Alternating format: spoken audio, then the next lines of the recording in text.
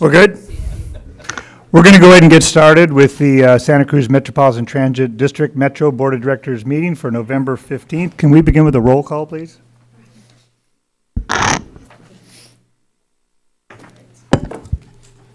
Director Bottorff. Here.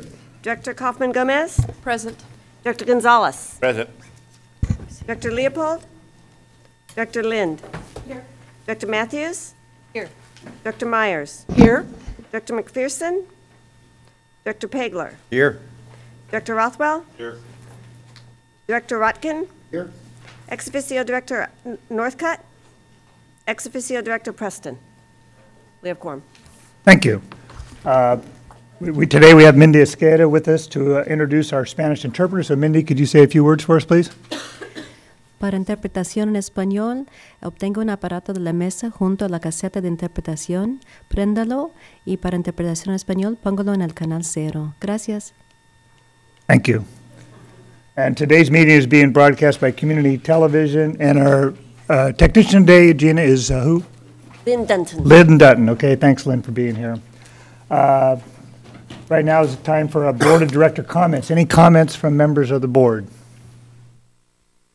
Seeing none, we'll move on to oral communication. This is the time for the public to address us on any item that is not on the agenda. If you'd like to come up and say something, now is the time. Welcome. Hi, my name is Monica McGuire. I live in Corralitos now. I've been in Santa Cruz 22 years, and I would like to just ask that you take a very strong look, not just at 5G, but at our local experts who can assist you in understanding what's important about it. I'm very bothered that the trend has continued that all the buses have Wi Fi and electromagnetic frequencies. I'm a health coach. My husband is an MD with an electrical engineering degree and a bioengineering master's. And we both have studied extensively the truth that these are very, very negative for all humans, especially anyone with a compromised immune system. So, anyone who's at, in any way ill, especially with a grave illness, all children, all pregnant women, all elders, we all have tremendous troubles. And we have, of course, a very high concentration of sensitive people here in Santa Cruz County. So, it's very important that you take a look and see we've been purposely confused on thinking that maybe there's a question of whether or not EMFs are bad for us. They are 100% clearly targeted as something that should, we should have a precautionary principle to be very careful about what we expose ourselves to. And we are seeing everyone with extreme neurological problems. It's the number one killer of women over 50 now, neurological problems. We have more and more reason to ask you please take a look and decide that we don't need to keep going forward with the extreme amount of EMFs in our lives. And certainly when we're traveling uh, is an important time. So, again, I'm Monica McGuire. My husband is Dr. Carl Merritt. I'm happy to give our phone numbers. the clinic that we work at is 831 662 8421. Uh, Tree of Health, and we are doing our very best to assist every government organization here in Santa Cruz County with what we are doing our best to join in worldwide, nationwide, to ass- assure people this is a serious problem we really need to address.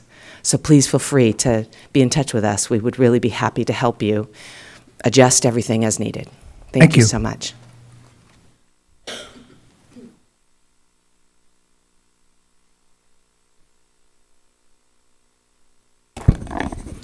Marilyn Garrett. First, do no harm. Buses should be safe places for riders to enter and be transported in.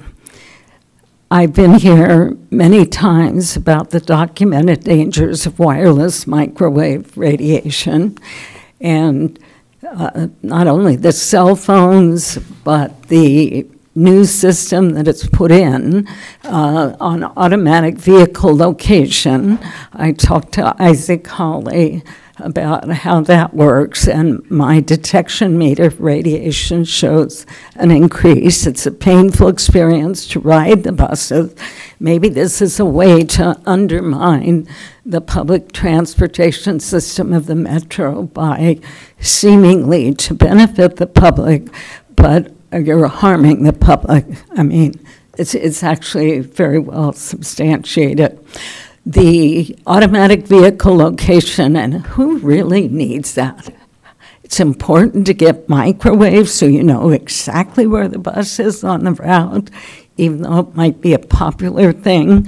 I was told by Isaac Holly that the uh, devices in the bus transmit with the 4G antennas like along Freedom Boulevard so that people can see on their mobile devices where the bus is. Um, at a cost about one and a half million dollars. That's a waste of taxpayer money and it's harmful. This is not new information for you. It's really puzzling and disturbing to me when people know something is harmful and they proceed and make it worse. That really borders on the criminal to me. I, I just, uh, it's unconscionable. And this information goes back, I took a book off the shelf, The Zapping of America by Paul Brodeur, 1977. And just here in the beginning, microwave radiation can blind you, affect your behavior, cause genetic damage, even kill you.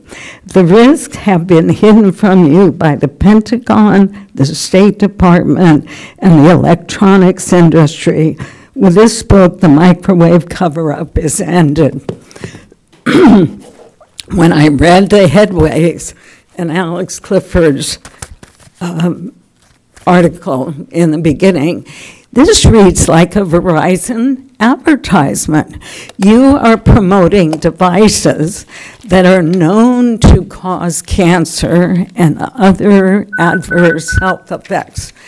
This needs to be removed from the buses. Health and safety is first, also for the drivers who have this Marilyn, go ahead and wrap up, okay? exposed to them constantly. Thank you. Anyone else like to address the board today? Or go, oh, Becky, you coming up? Okay.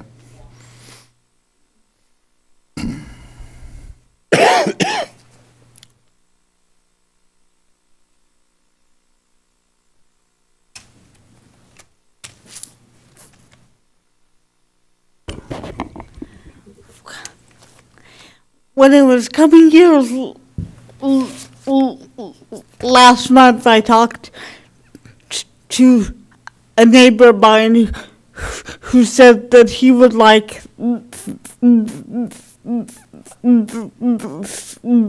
the three bu- bus to be every hour instead of every two hours. And also on the issue of of mm, oh cell phones and stuff. I just want to say that that yesterday in in our commission on disabilities meeting,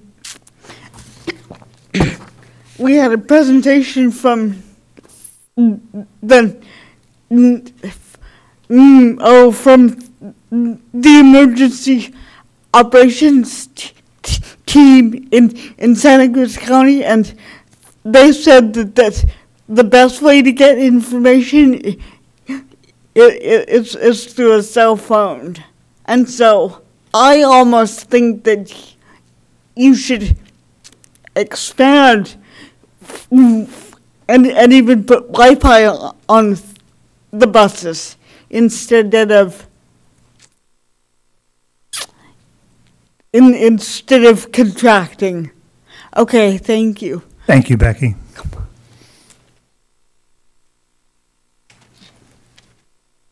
Anyone else like to address the commission? Okay, we're going to go ahead and close uh, public communication. Uh, Any written communications from the MAC? No. Uh, Labor organizations, any labor organizations want to address us today? I see shaking heads. Everybody's happy? Thank you for being here. Happy enough, happy enough. We're in Watsonville. Don't, don't push it. You have to be happy in Watsonville, okay? Okay, uh, additional documentation. Yes, we have two items. Right. Okay, Mr. Chair, you have several items there. Uh, One related to CEO report. You have a couple of board reports that we delivered to you late. We apologize for that. Uh, But uh, we uh, could not get them done in a timely fashion for you, but you have them there before you today. They're both on consent calendar. okay. Thank you for that. Okay, that brings us to our consent agenda. These, these are consent agenda. These are items we normally deal with all in one motion. Is there any uh, board directors like to pull anything? Director Mathews? I have um, a few questions. I, if it's appropriate, I can ask them. I think they can be answered quickly without being pulled. I will use your judgment to say they can be answered quickly, so go ahead. Okay, um, uh, 9-08, which is the contract for a bus yard sweeper. It wasn't clear from the uh, staff report, is that a replacement? Is it a new need? Is it a kind of an opportunity that arose? My concern is whittling away at um, capital funds. It it just wasn't justified. So that's all I wanted was, Let's get some in-depth uh, answers to that, okay? I think it can be done quickly. Oh, yeah, Sure.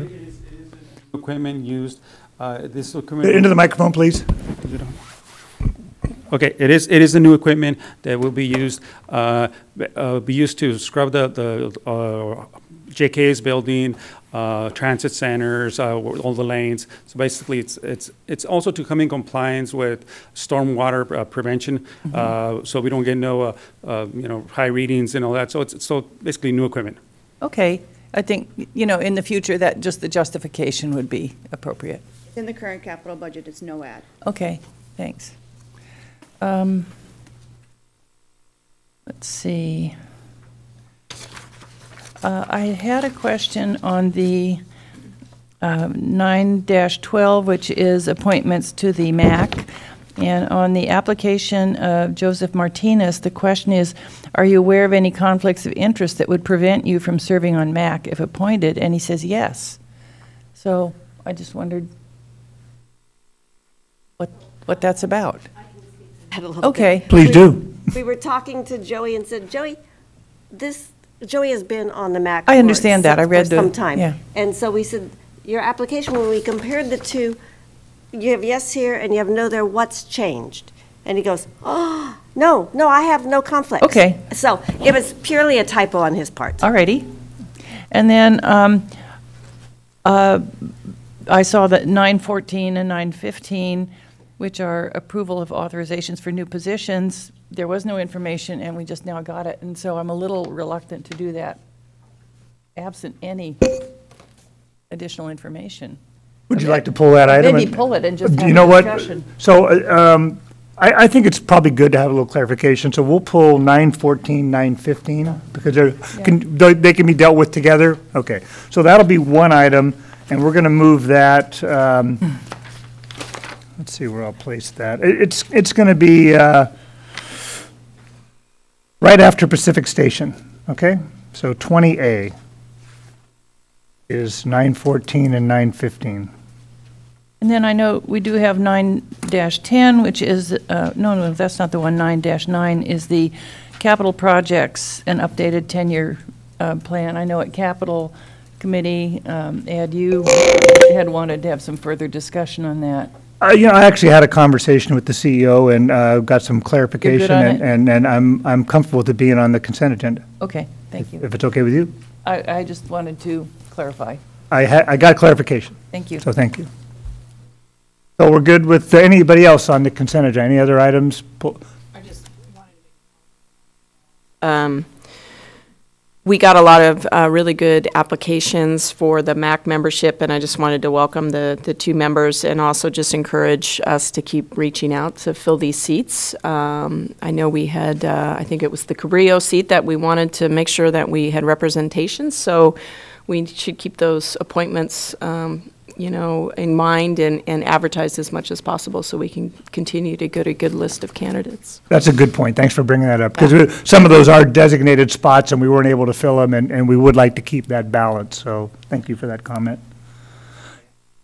Aurelio? Quick question. Just, just a quick question on nine five, on the Paracruz operations. I noticed that it, we increased a little bit in ridership. And my question is, it, could, uh, could we identify it between the, the areas of increased usage, between north and south, or where, where it's been utilized Turn more. to Daniel. Daniel, do you have a possible answer on that? If not, we can, we can do some analysis and let you know. You got to come all the way up, Daniel.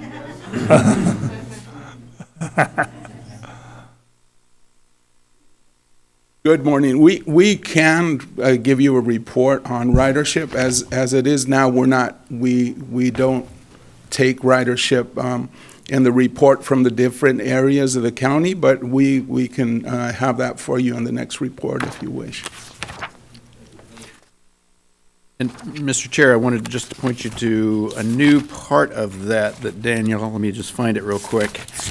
Uh, Um, attachment So if you would G. look at attachment G, Daniel just added a really nice new table that he'll include in quarterly reports, giving you some idea of where our uh, high-volume lo- uh, destinations are. Um, That might help a little bit of that, but we can still do some more analysis. I think we're going to celebrate that ridership is up, and if we can identify it, that would be great. Yeah, no problem. We could have that for you. I think we have a few more questions on the statistics. Um, So since we have the Paracruz and there is Liftline, uh, do we know if we're moving them over to Paracruz and that's why our ridership is up? Or is this overall, I mean, because I don't know that you're checking with Liftline count, because it's not within the the purview of our agency, but uh, we just, I just have, a uh, you know, question generally of, are we transporting the same clients and they're reducing or are they keeping steady and we're, because it- to me, it's a duplicative services when we're providing it and Liftline is as well. So I just think that we should at least check in with them and see, you know, where they're tracking for their volume. Because if they're reducing their volume and we're taking it on, then we're not really increasing ridership overall. We're just moving from which, um, which vehicle to transport them is more convenient for the client. And uh, so I just would like to know a little bit more, maybe a- just to check in with them when we're getting the numbers. And I did have another question on the stats that were here, and it had to do with um, restricted conditional. Can you explain what restricted conditional is? Yes, if, if there's someone that has an injury, uh, per se, uh, they break their leg, they can apply for the service, and they would have restricted uh, access for, they would be able to go to all of their doctor's appointments and to physical therapy, and that's basically what it, what that So means. basically temporary. Yes. Okay, thank you. Director McPherson, you had a Yeah, comment? I think um, Director Coffman Gomez's comment about um, lift line and so forth, because in Measure D, there was an increased allocation for that, and so it would be interesting to see if there is any changes in that. So I'd just like to second that concern as well. Go go ahead, Ciro. Ciro Aguirre, uh, Chief Operations Officer. I just wanted to kind of comment on the uh, lift line versus paratransit. Lift line is uh, predicated on income level. So the persons that qualify for lift line service have to meet a certain income threshold. And whereas paratransit does not have that.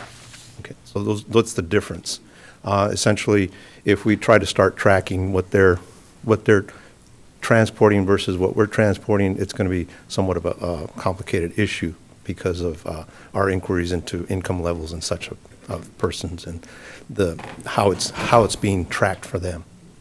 Dr. Rotkin? You Should also note that the lift line only takes people to certain kinds of services, health services and um, food and basic, basic uh, hum- human needs, but but people can take paratransit to anything they'd like to take it to that that they need in their life. We're a complimentary service to fixed route. That's, Right. that's essentially what it is. We take the bus stop to the person. Great.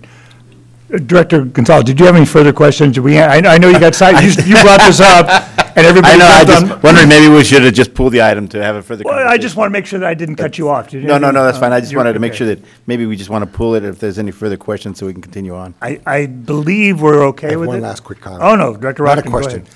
I just want to note that um, our, within the ready window uh, performance since last year has improved dramatically. I mean, if you look at, at least the two months we're looking at here, from something like 81% to 90% and 81 to 95% for a different month, that's huge. Because for this service to be useful to people, they, it's got to come when you expect it's going to be there. And we're doing much, much better, and we should note that. So what I take from this is I think we're okay with what you said, if it- but if we can get some feedback about what part of the county there was an increase that caused this, that would be wonderful. Ed? Okay? Ed, over here. Oh, go ahead. I too found this, the stats interesting, but I, I kind of don't know what to make with them. You know, it's, they're quarterly stats, and, and they are interesting, but um, I don't know at what point uh, there's a time for presentation. This is a really major trend we're seeing, or, you know, some really significant variations that kind of uh, lead us into operational decisions. Uh, we- These are interesting. So maybe in the new year, we can have a, you know, At some point. let- You know, let- let's go ahead and give direction to the CEO to put this on an agenda item for, for the next meeting and elaborate on it, because there's obviously a lot of questions. We can have a discussion on an open item, and we can weigh in from the public, and just, let's just talk about Paracruz and where it's at, where it's going, and, and, and how we're diversifying. How about that? Yeah, and what Okay. we're learning, et cetera. Everything. It- We can make it an item we can talk about. Obviously, there was a lot of dialogue there, so. Okay, with that, any other items on the consent agen- agenda? Okay, anybody from the public like to comment on any items on the consent agenda? Move approval. Seeing none, consent we got a motion for approval by Rotkin, second by McPherson. All in favor? Aye. Opposed? That carries unanimously, with the exception of uh, 14 and 15, which we're going to have as an open item, at one item. So that takes us to the um, regular agenda, and we're going to begin with our presentation of uh, longevity awards, and I believe you have two in front of you? Director Wright? Okay, we're going to do two. Two people are here, so um, I'll let you go ahead with that, and I'll, Okay, so we have um, 20-year uh, longevity awards, which is significant. Think about having worked here for that long, for a number of different people, and I believe um, Uriel Mendoza is here, is that correct? Great, so you'll, you'll come up. Um, Let me just read. Mr. Mendoza came to Metro in 1999 after working for 23 years harvesting lettuce for the same company. It's obviously the same loyalty and dedication that he's applied to his service at Metro. Uriel is always happy, friendly, and engaging with his coworkers and the public, and when he's and when he's not driving for Metro, he performs as a musician and recently performed for Watsonville's Open Streets Day. He's currently a contestant on the Spanish TV show uh, Tengo Talento, Mucho Talento. Congratulations on that, as well as your service Thank for you. this district. I don't think that I'm going to win, but I still in competition. Well, we're hoping that you do. And, uh, oh, oh, it's my, this is your time. Go ahead. this is your time. Um, This is my time. Uh, I always wanted to, uh, can you, anybody do me a favor? It will sound different if anybody on that side will read this. I just wa- would like to share something with, uh, I'll be uh, happy to read Want someone to read Yeah, this? please. You mind if I read it? Oh, it will sound better. Okay. Yeah. This is the kind of work we do out there. This is, this is Mr., uh, this is, this is a letter to Mr. Mendoza. It says, uh, I would like to take this opportunity to commend your performance exhibited on Thursday, September 14th, 2006. A group of approximately 20 delegates from the California Transit Insurance Pool, California TIP, were attending a conference at Seascape. Metro provided transportation to an off-site function, and you were selected to operate the coach. I was very impressed with your professional appearance and composure while we discussed the details of this activity. The following day, Friday, September 21st, 2006, I attended the CalTIP training session. As I awaited the training session to begin, 10 of the persons that were transported to you the previous evening approached me and expressed their admiration regarding your driving skills, a high degree of customer service you provided to the delegates, and the professionalism you demonstrated transporting them to and from the event. As one of the delegates mentioned, I have never been on a bus anywhere in the U.S. in which the ride was comfortable. I felt safe, and the level of professional- professionalism was so evident as with our driver last night. Thank you so much. We had a wonderful experience. On behalf of Metro, thank you, and please accept this accommodation for your exemplary performance and the positive experience provided to the CalTIP delegates. Signed, Ciro Aguirre. Uh, And I'm sure that this is probably the way Mr. Mendoza does his job every day, but I'm going to let him finish. This is your time, not my My time. time. Um, Well, there's no, um, there's nothing I can say, because words, I can say anything. But if you come and ride my bus, I don't have to say anything. You will be doing the talking for me. You are welcome to ride the bus. They don't ride for free, right? No. Okay, just identify yourselves and then we go from there. I don't know, thank you. Thank you, and uh, I hope to be here. I'm taking care of my mom. People ask me, when are you going to retire? But I can tell you something, if she lives 20 more years, I have to work 20 more years. So as long as she stays alive, I have no choice. I have to keep driving. Uh, Thank you, and I don't know what else to say other than thank you. Thank you very much.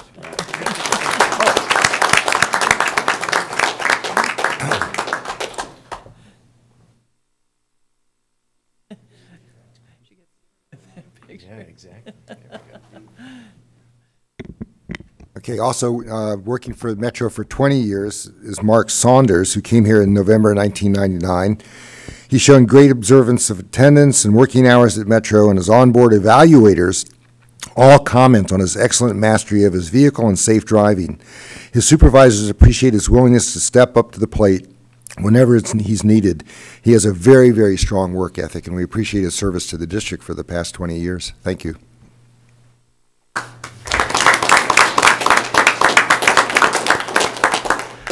So Uriel and I were in the same class for training.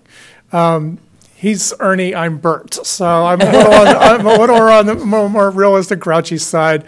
Um, and but I just want to say that this is a really hard job, and it's like you know they made big honors about Cal Ripken working however many years for the Orioles. I don't know, but it's like I, what I said then was, yeah, but he only has to work nine months a year, three days a week, four days a week most, you know, and it's only two, three hours at a time. You know, we're working eight hours a day, five days a week. I work a lot of overtime, so I'm working a lot of seven day weeks you know, it's a lot of work, but um, I've been happy for the opportunity that this job has given me. I've been able to buy a house. I have two fairly new cars, and um, you know, I've met a lot of interesting people and seen a lot of interesting things. So thank you very much.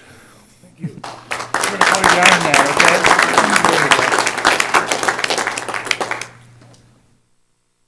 Okay, great job. Mark. And I believe they're not here this morning, but we also want to recognize Mario Espinosa and uh, Gilberto Limas for 35 years of service to the district, and Martin Gilbert, Mark Krovets uh, for 20 years of service. So we want to thank them as well, even though they did not come for the presentation this morning. Thank you. Okay, um, we've got some uh, uh, directors are going to be leaving, so I just want to move the schedule around a little bit just to make sure we get, discuss some items that are here. So uh, if you can bear with me, we're going to jump around the schedule. I'd like to jump ahead to um, item 19, which is the City of Santa Cruz Downtown Bus Pass Oral Presentation, Barrow Emerson. Good morning, Chair, um, board members, staff, and public, and I'm going to give my time to Claire Fliesler from the city to talk a little bit about the program. It's early days. So Claire, please hop up. Good morning, Chair, Board. I am Claire Fliesler, Transportation Planner for the City of Santa Cruz. Gina is handing out something for you all right now about the overall program that we're going to talk about.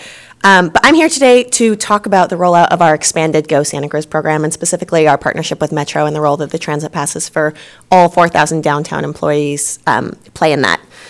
Um, I have notes, which I usually don't have, but we have so many things going on that I want to make sure I don't miss any highlights right now.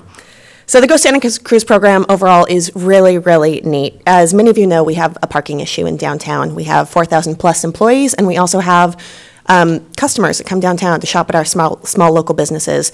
And we have a conflict between the number of parking spaces we have and the number of people that want to come downtown. In order to address that, we have been investing in alternative transportation for decades in the city of Santa Cruz and regionally. This has led to an enviable 58% drive alone rate, which is almost 20% below the national average of 76.4%.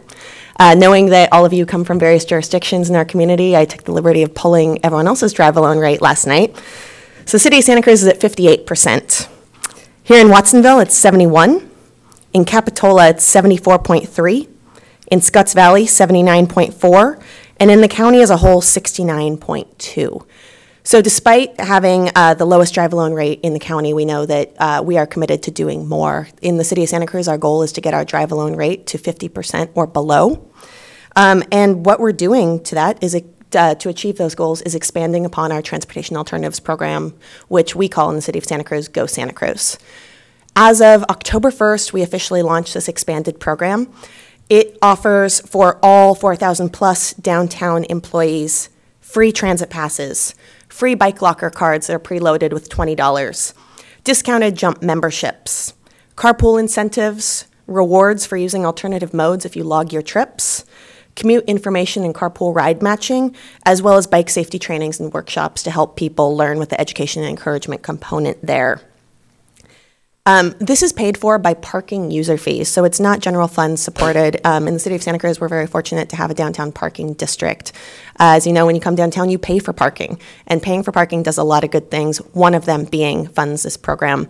As you may have realized last year, we raised parking fees uh, about 50 cents per hour at all uh, meters, lots, garages, and we raised parking permit fees. And part of that increase in funding goes directly to fund this program, which is funded to the tune of $585,000 in year one. Um, so since October 1st, when we officially expanded this program, we're starting to get a little data in so far.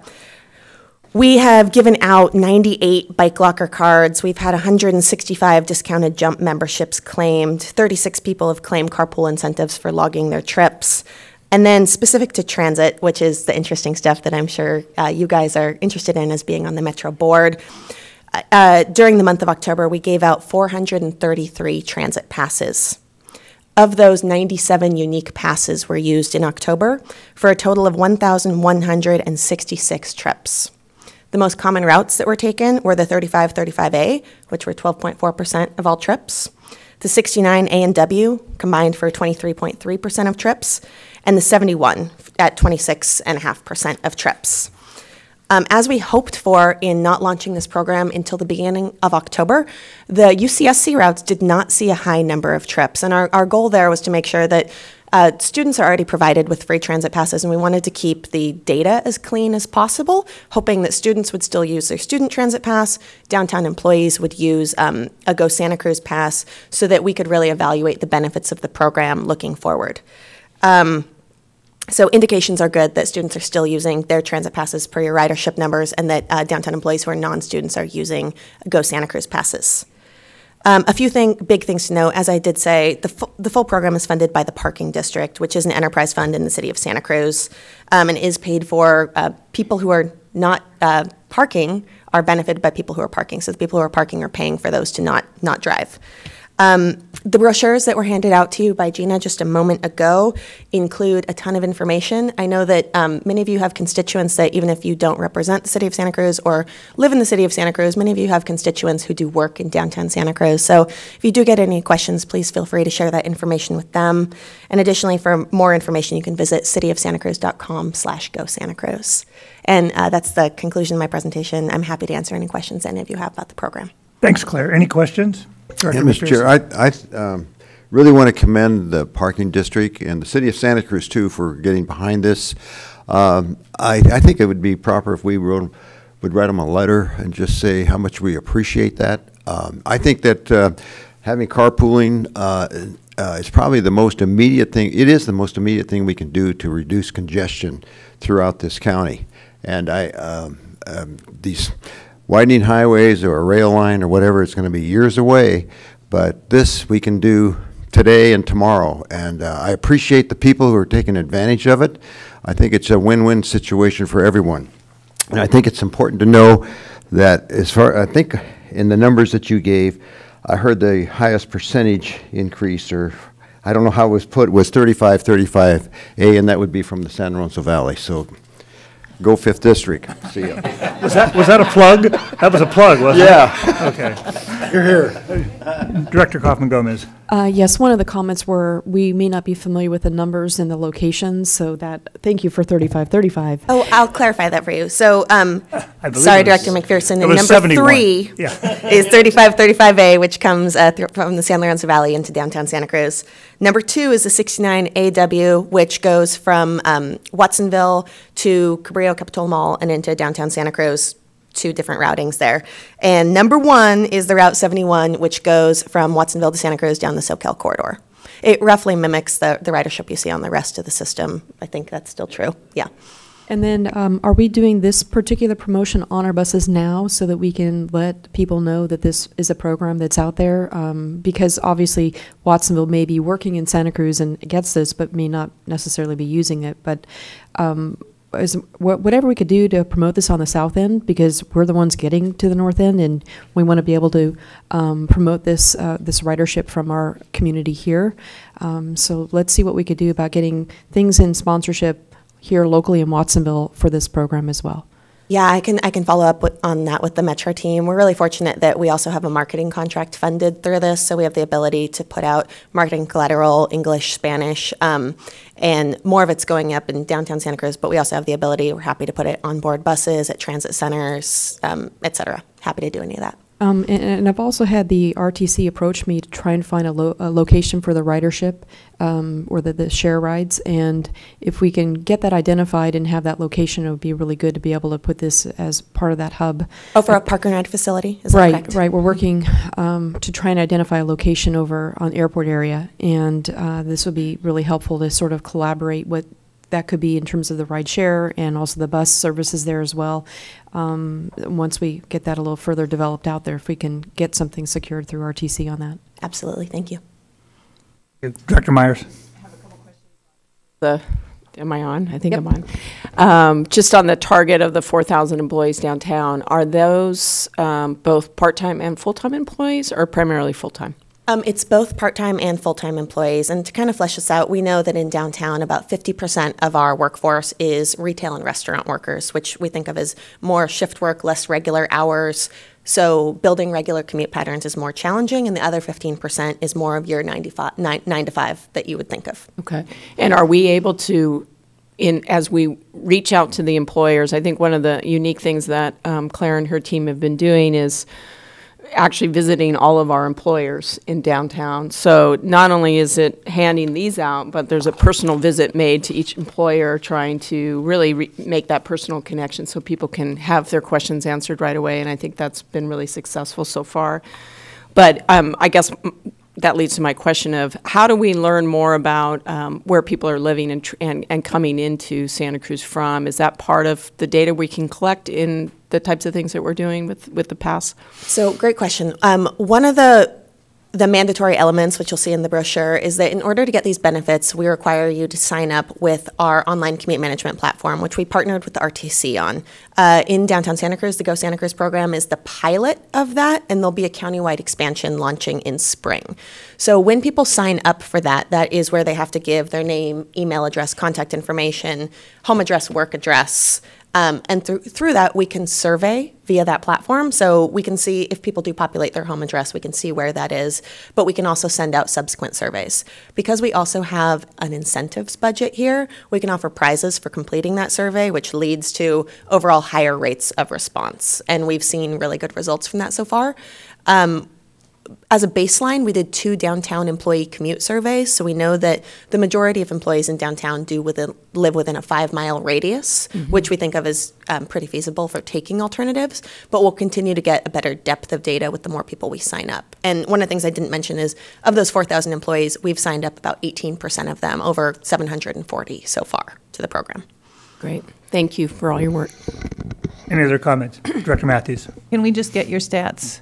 Uh, you- Oh, my your stats report- again. Yeah, yeah, so- I mean, just a copy distributed, they were great, and as always, you just fly through it. Fly through, yeah, I, I talk a little fast. Um, usually I get told you have this much time.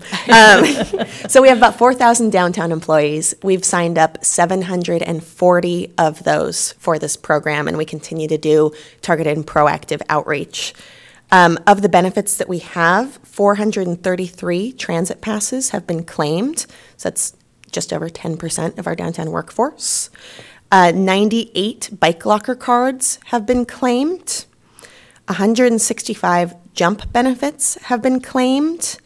And the carpool incentives are a little bit different. You log 10 trips and then you get $10 in downtown dollars. So people are carpooling and logging those trips, but we don't have the same type of metric there. Um, overall, our goal, we're at 740 right now. We want to get to 1,000 by the end of the year of, so 25% of downtown employees enrolled in the program. That helps us get towards the each one teach one, where we are going out and we're doing this targeted outreach, where when you get a bus pass or when you get a bike locker card, me or my colleague Joanna goes out and physically delivers that to your workplace. Typically, we don't deliver it to the person who is um, requesting it. We deliver it to whoever's at the front desk or whoever is working at that time, leading to another opportunity for engagement, another person to connect with. And usually, by the time I get back to my office, that person is then signed up, and I'm going right back to that office as soon as I get back. So the numbers so far are looking really good. Um, we are pleased with the speed of our launch, and we continue to see, even though we did uh, a lot of promotion in the first two weeks or so, that those numbers continue to increase week over week over week over week, which we're, we're tracking over time. Great, Thank- thank you for that presentation, Claire. If you could, uh, oh, Director Northcott, you have a question, go ahead. I do have a question about your emergency ride home. Yes. Um, what's the success rate of that? Because that's one of the things that we are actually in communications with about at Cabrillo for our students who are using the bus and need to do kind of quick trips around town. Um, so ER, emergency ride home, oftentimes abbreviated to ERH, is typically not used for quick trips around town. Something that could be a good filler for that would be a zip car on campus or a car share membership, et cetera. Um, emergency ride home is something that we have in place, which is essentially a safety net. So if you take alternative modes to get to work, if you take the bus, if you ride your bike, if you walk, if you carpool, and something happens, your kid gets sick, your carpool buddy's kid gets sick, um, a pipe bursts at your house, something that is a qualified emergency comes up and you need to get home quickly and you don't have the ability, desire, or um, you know you're going somewhere that maybe the bus doesn't run, you can take a qualified transportation service. You can take a taxi, you can take the bus, you can take Uber, you can take Lyft, and subsequent to that, you submit via our platform for reimbursement of that ride. Uh, ERH programs are typically very underutilized. Most people don't use them, but it makes people feel a lot more confident in choosing to use alternative modes to get to work, knowing that the option is available, especially for people that do have children and, and want to be able to respond if something does come up. Thank you. Great. Uh, Great presentation. We do a couple things for me, one, or just one, actually. If you can just get a copy of those statistics to Barrow, and then he can distribute it to us, we'll just, Yeah. m- we'll take care of the distribution. And uh, Mr. Last day, so I'll give it to him. I don't think it's going to be that many pages, or is it going to Gina now? That, that's fine. And, uh, Mr. Clifford, if you could do a, a letter was recommended to City of Santa Cruz commending them on this program, uh, whatever, whoever's on that list, that, that would be great, Downtown Association. So thank you for that presentation, Thank you. appreciate that. Okay, we're going to jump around again. Um, I'd like to go to item 14, which is a consideration of a resolution to establish the Board of Directors meeting schedule locations for 2020. So. Or do you want to ask for public comment on that last item? On this, uh, that was a presentation, abs, let's go back. Is there anyone that would like to comment, I'm sorry. Uh, That was a presentation, my mistake, a comment on that item, welcome. I wasn't sure whether it was something to ask for, so I'm deeply appreciate it. No, sure. I really want to underline as well, I've been in Santa Cruz 22 years, the whole time looking forward to the promised bike lanes. And I really don't like hearing that th- this kind of a program is the best thing to lift the burden off of Highway 1 because it's completely clear to me, having studied the issue, being an avid bicyclist, we would clear Highway 1 by an extreme amount if we had bike lanes. I know that's not particularly something in your purview today, but I, I do want to say that over and over. I have visited all the places that have bike lanes, and I, I'm horrified at how badly we are behind on that. It doesn't fit with the image of Santa Cruz, and every single aspect of this subject needs to keep being looked at. I'm a health coach. Our health would be so greatly improved as well, but please don't say this is the fastest way. The bicycles are definitely the fastest way. I just wish we were on it better. Thank you. Thank you for that comment. Anyone else like to address us on this topic? Welcome. Hi, Jessica Evans from the, I live in the city of Santa Cruz. Um, I just wanted to say how pleased and excited um, I am that the Go Santa Cruz program is being is so successful that we've, you know, that this is super innovative. And um, I think that, you know, with the climate emergency, it's going to be incredibly important to support transit in Santa Cruz County overall.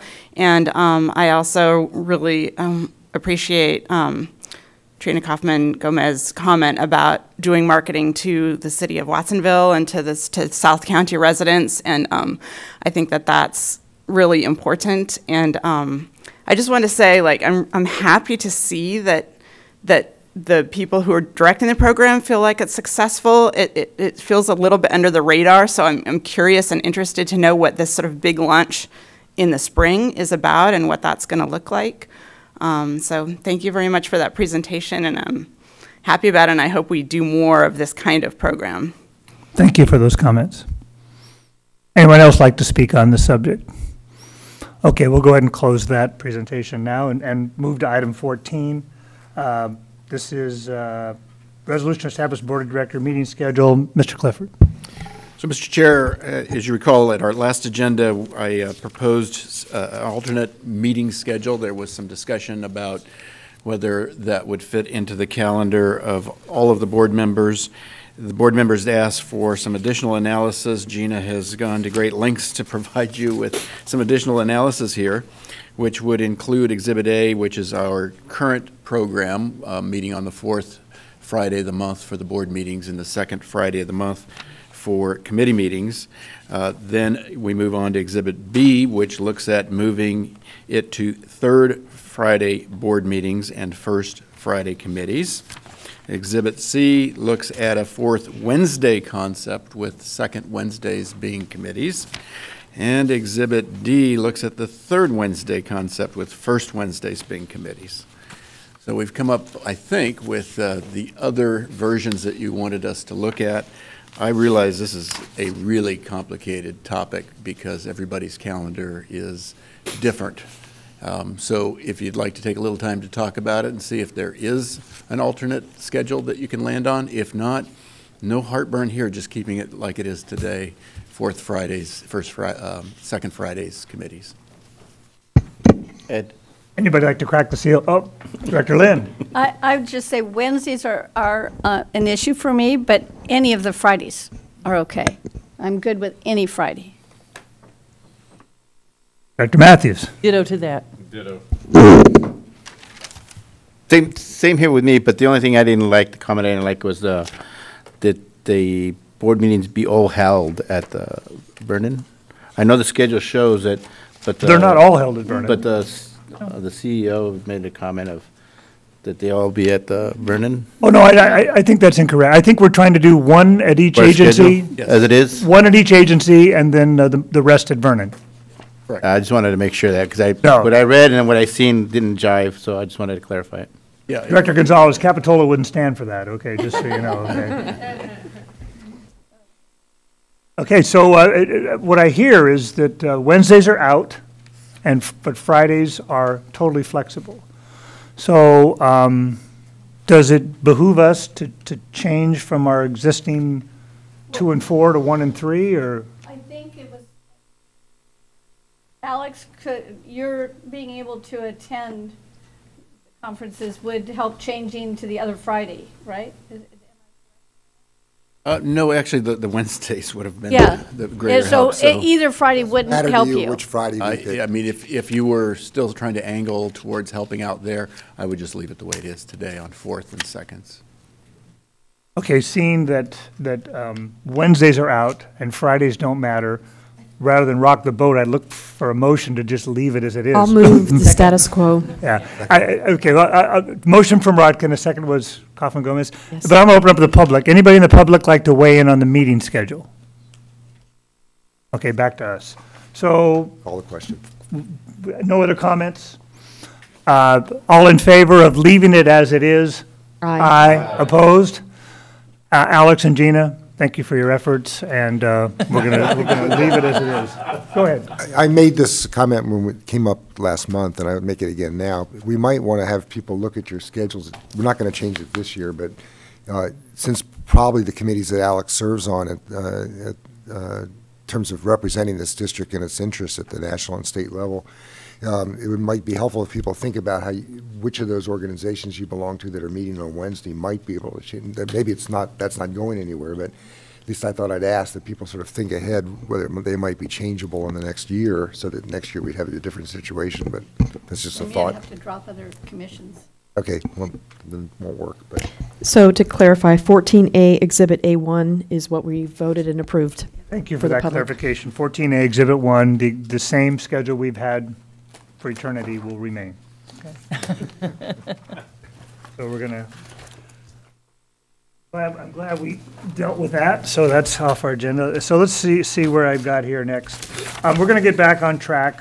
What I've got is, uh, we're gonna go, uh, back in order now to item 11, which is a resolution, uh, for Karen Blight. Is Karen here? Okay. I'm just going to go ahead and read the uh, resolution, just uh, to ma- make sure we enter into the record. And this is a resolution, for appreciation for the services of Karen Blight as Administrative Assistant for the Santa Cruz Metropolitan Transit District. And I'll briefly go through this as, uh, this, uh, whereas the public transportation service requirement is competent, dedicated workforce, and whereas this member, Karen, worked for the Customer Service Department from July 30th, 2008 to November 15th, 2019, Karen Blight provided Metro dedicated service and commitment during this time. Karen Blight served Metro with distinction. Uh, The service provided by Karen Blight resulted in reliable, quality public transportation being available in most times were difficult. During the time of Miss Blight's service, Metro improved existing, built new bus operation facilities, converted the fleet to CNG propulsion systems, developed accessible bus stops, improved ridership, responded to adverse economic conditions, assumed quiet operational responsibilities for the Highway 17 Express and the Amtrak Connector Service, whereas the quality of life in Santa Cruz was improved dramatically by the exemplary service of Karen Blight.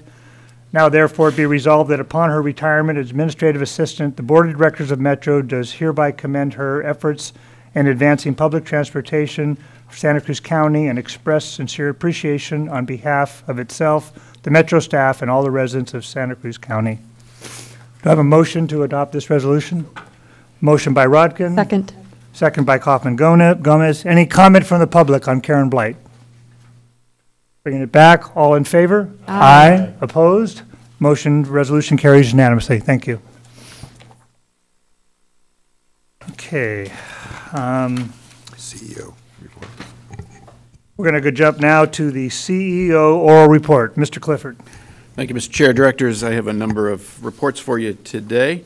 Um, Starting off with December board and committee meetings, I'd like to announce that un- unless you have a burning desire to meet in committees and board meeting in December, that we have been able to successfully uh, adjust our board agenda items so that you can go dark in December if you would like.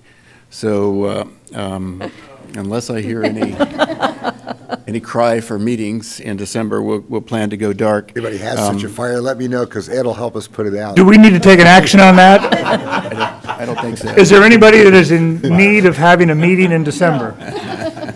I see no objection, Okay, so I- uh, I your was clar- recommendation is... Clairvoyant enough to assume that that would be the case.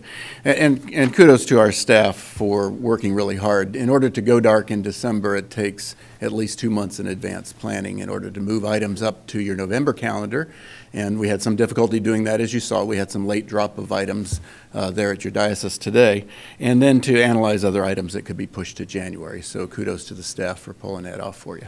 We appreciate it. Can you give me the date of that uh, January meeting, just so I can make it at the end? I'm going to change my announcement from December 13th to January 24th. Thank you. At Vernon? Okay. All right, go ahead, Mr. Mr. Yes. Clifford. Uh, Second on the list is our new hires and promotions. In our fleet maintenance department, we had Jerry Ayala Magana, who is a new hire as a vehicle service worker. Um, Some very tough jobs, uh, maintaining our vehicles at night when they come in, cleaning them up, working all night, uh, and sometimes the weather is not very cooperative, so these folks really, really work hard. So thank you for uh, Jerry coming aboard with us. In the customer service area, we had Maria Padilla, uh, Padilla, who is a promotion from a customer service representative to a senior customer service representative, so a little bit more of a leadership role in that department. And then in fleet, we had Michael Thorne, uh, lead mechanic, being promoted from a mechanic two. Jose Valtierra in operations is promoted from a bus operator to a transit supervisor. So that's exciting. And then finally, we have Juan Gastelum in facilities being promoted from a a custodial service worker one to a custodial service worker two. So as usual, we're always, uh, we always take a great deal of pride in our internal promotions, and uh, it's great succession planning, and we're happy to keep our employees with us that much longer by promoting up through the ranks. So congratulations to all of those folks. Okay, next on my list is, Gina, if you wouldn't mind putting that slide up, zero emission bus slide.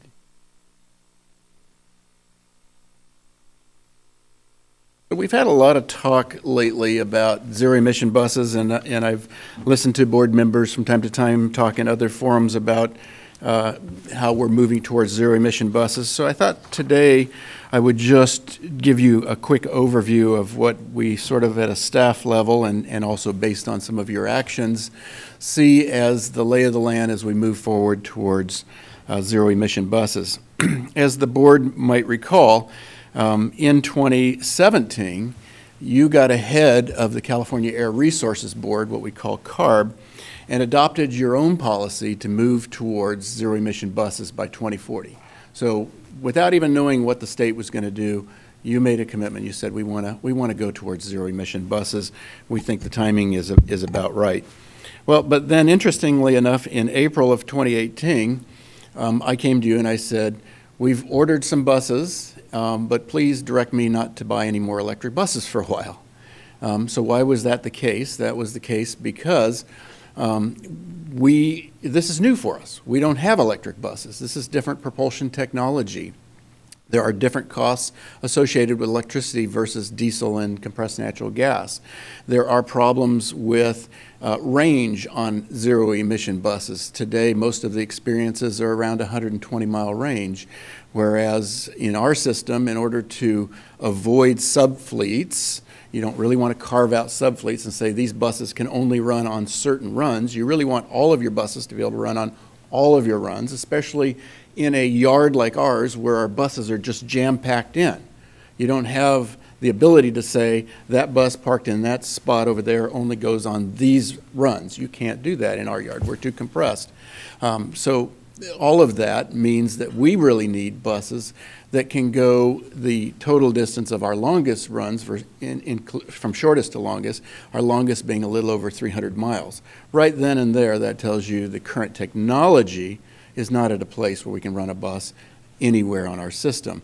And what that means is that if you wanted to do that, you'd have to invest millions and millions of more dollars in putting uh, in route rechargers.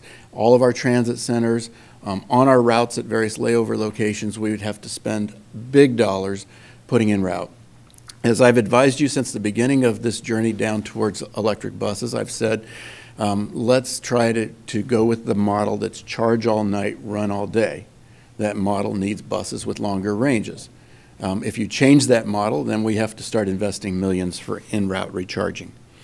So then in 2018, and, and also, by, by the way, at that time in April of 2018, um, we, had, we had cobbled together enough money through various grants, particularly LC TOP program at the state, to buy our first four electric buses. So we've, we've placed that order. Then late 2018, CARB uh, puts together the ICT, and across that top line, you can see, and by the way, you have a copy of this at your diocese, um, you, you see for us, as a small transit agency, our first mandate comes in 2026, January 2026. Everything we issue a purchase order for thereafter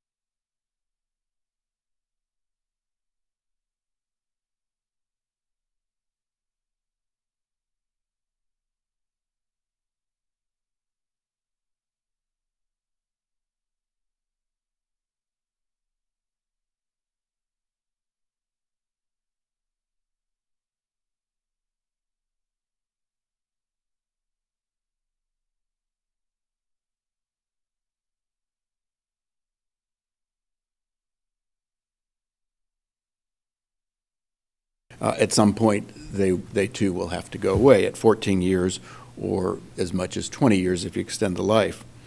So our buses, our electric buses, as you see now, sort of looking at the lower part of this diagram, our buses, uh, the four zero-emission buses are scheduled to be here in the first quarter of next year.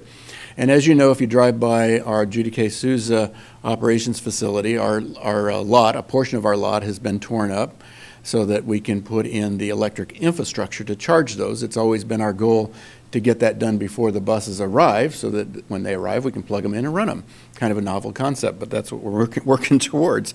So we're on schedule for that to occur. We're also buying Proterra's um, newest bus. It's not in service today. It's at a place called Altoona where it's being tested so that it can be allowed to go in service. That's a federal requirement.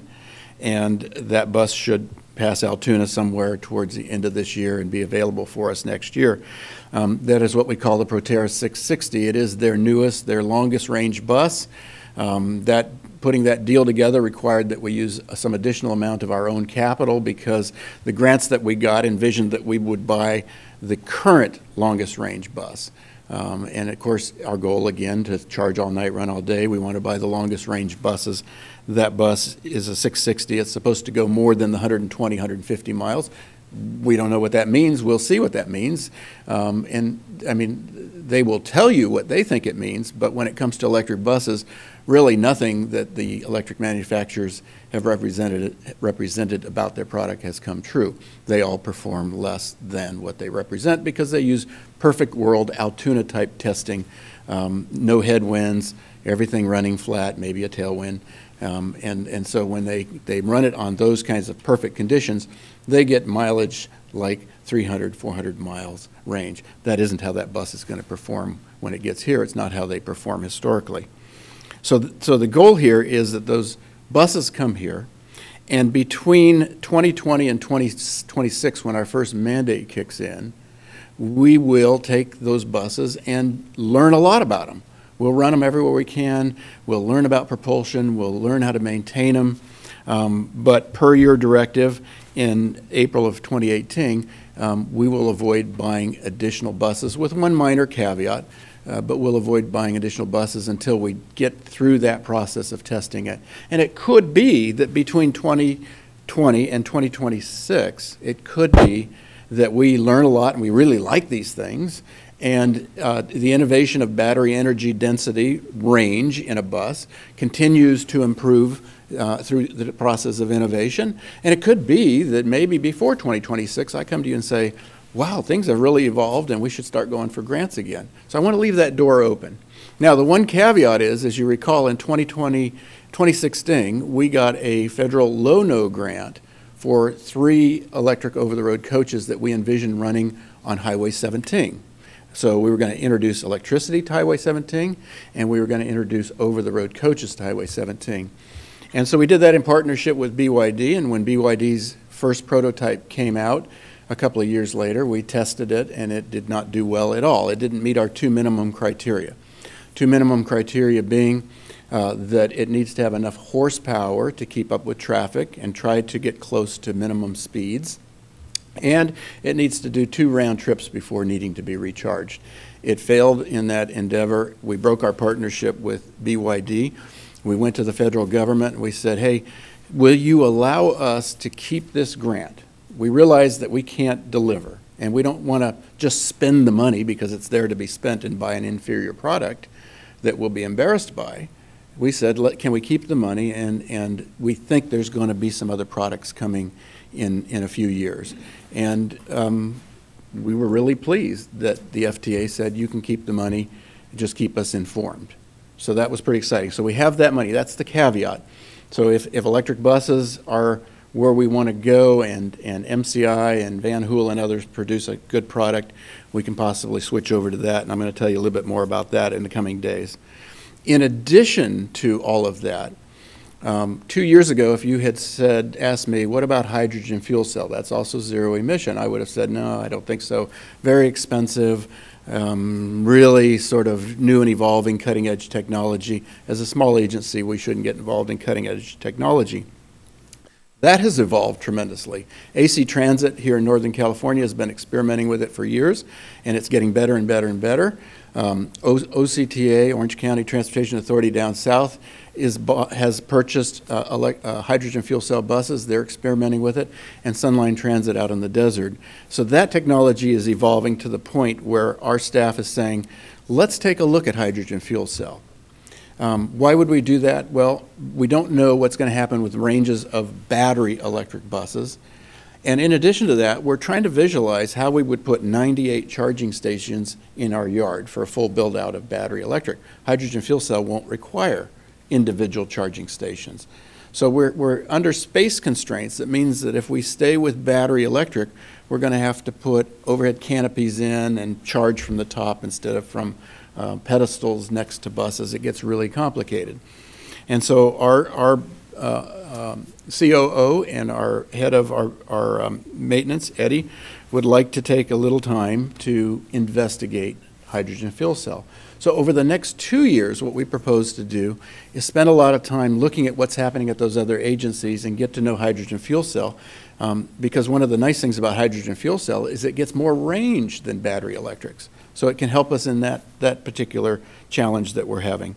And then in two years, if that outcome is really favorable, we will come to you and say um, that we'd like to go for a federal low-no grant and try to obtain some number of hydrogen fuel cells and maybe run them side by side with our battery electrics and try to learn what works best for this agency. The prevailing thinking across the nation right now is that not all battery, not all hydrogen fuel cells, some mix is probably what's going to work for transit agencies. That may change. That wouldn't have been the answer two or three years ago. It may not be the answer two or three years from now, but we need to stay in touch with that. So we'll get our buses. Between now and 2026, we'll keep experimenting with the batteries. We'll investigate hydrogen fuel cell for a couple of years and maybe come to you and ask for permission to go for a grant there. Uh, and then along this journey, we will keep buying compressed natural gas buses. We have the ability to do that all the way through 2026, and we will continue to buy those. They're, they're a lot less expensive. As you know, we have to replace a lot of our buses. And by continuing to buy as many compressed natural gas buses as we can, we buy us extra time to watch what happens in this market. Again, if things get better with battery electric and hydrogen fuel cell, we can accelerate our purchases at any given time. Um, but if it doesn't continue to, continue to evolve, and if hydrogen fuel cell doesn't turn out to be the real good thing for us, we'll have bought enough time to allow the market to continue to innovate and Proterras and BYDs and others to, to build a better product before we dive in with two feet. So that's, that's an overview of the plan, and I just wanted to show you um, some additional pictures if we can. Did we put the pictures up of? Um,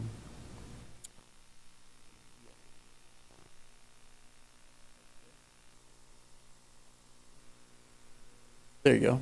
So yesterday or this week, I was down in Monterey at the, the uh, CTA Fall Conference, and as a part of their expo, they had uh, buses displayed, and this is the MCI electric over-the-road coach bus. Just produced this bus, and um, it's it's a pretty exciting piece of equipment.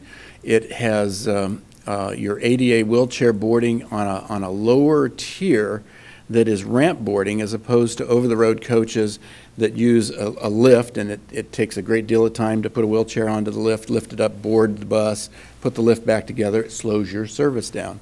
This is a ramp boarding uh, concept, um, zero emission, 100% zero emission, and so MCI is is now this is their first bus, and we have arrangements for this bus to come here on the 19th of November.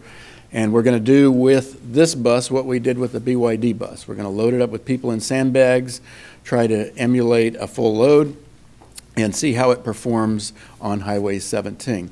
If it performs well on our two criteria, the horsepower to keep up with traffic and can make two round trips before it needs a recharge, then we'll probably come to you and say, let's go to the federal government, ask them to release the hold on our low-no money, and let us buy three of these for Highway 17. So that's, that's, that's getting a little aggressive and looking forward, a little overly optimistic. we need to see how it performs, and on the 19th, we'll have a pretty good idea of that. So that, that uh, concludes the part of my presentation about zero-emission buses. Uh, You know what, before you get into the weeds, I think we have a lot of questions, so let's start with Director Rotkin. Um, Can, can you give us a kind of ballpark description of what uh, infrastructure needs the hydrogen fuel cell buses have? In other words, what, what what would we have to put on the ground in order to fuel them?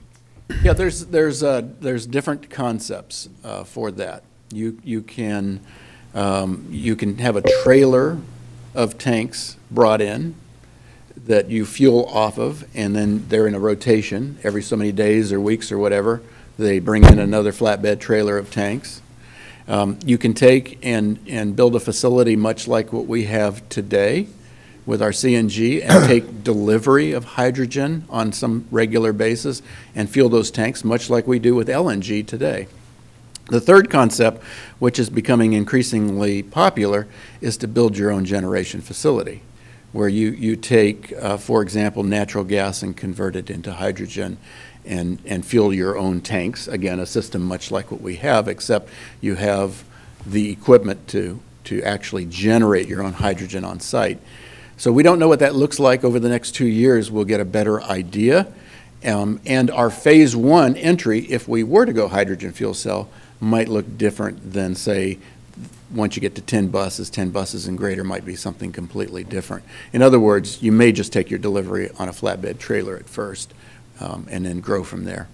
And could you send us, uh, all the board members, uh, some kind of an article that just talks generally about hydrogen fuel cells and how they work, and so we could become, I'm not well informed about it as a tech, I, I got the basic concept of how it, it works, but I'd like to know more. And rather than just go in and Google it, it'd be nice if you would send us what you think is a good article about how it all works. Absolutely. Director McPherson?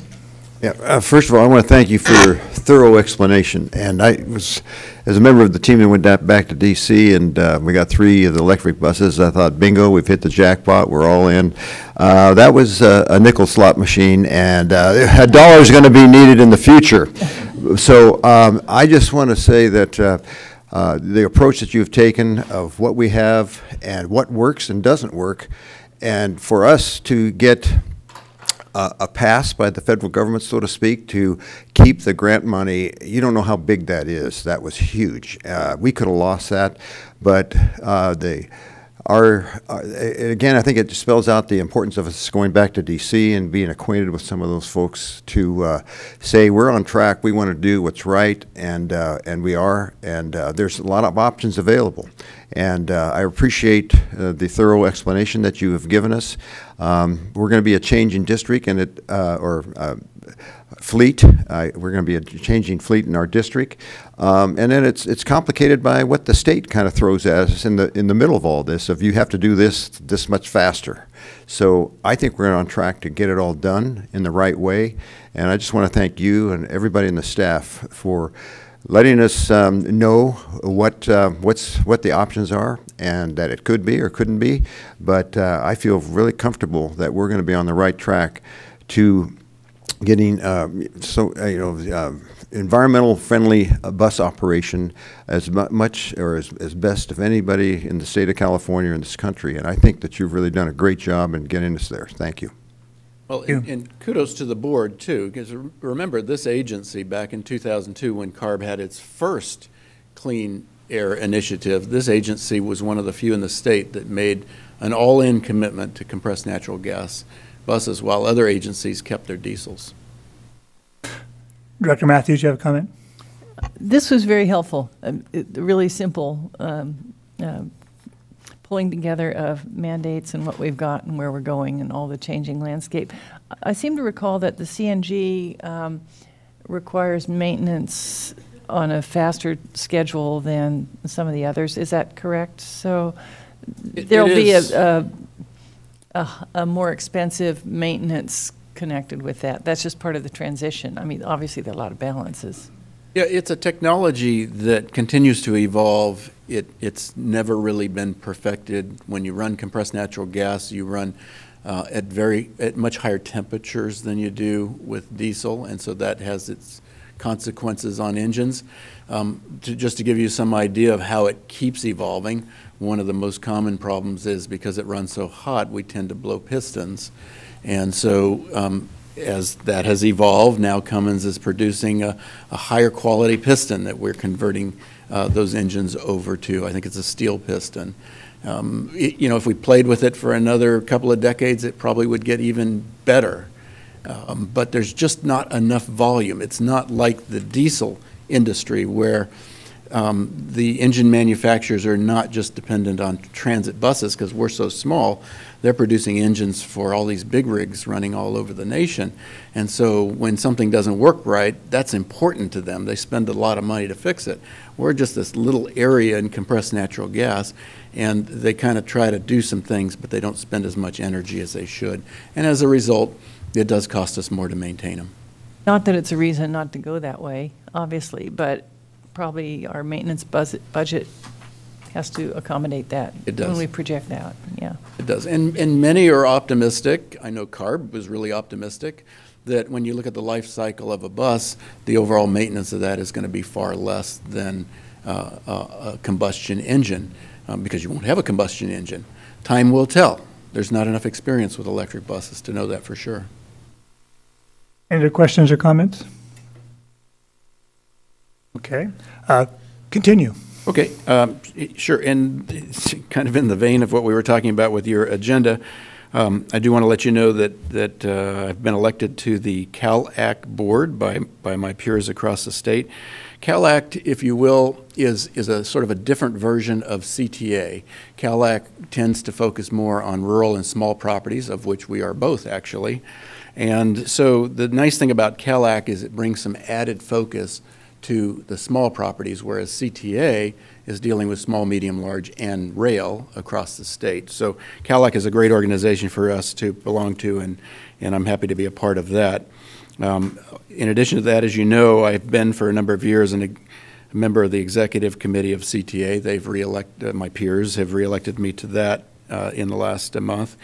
And then our, our new chair of APTA, Nuria Fernandez, who is the CEO of VTA Over the Hill, um, has appointed me to the APTA Finance Committee. So I'm just taking on some additional sort of national and local roles. Tell the public what APTA stands for.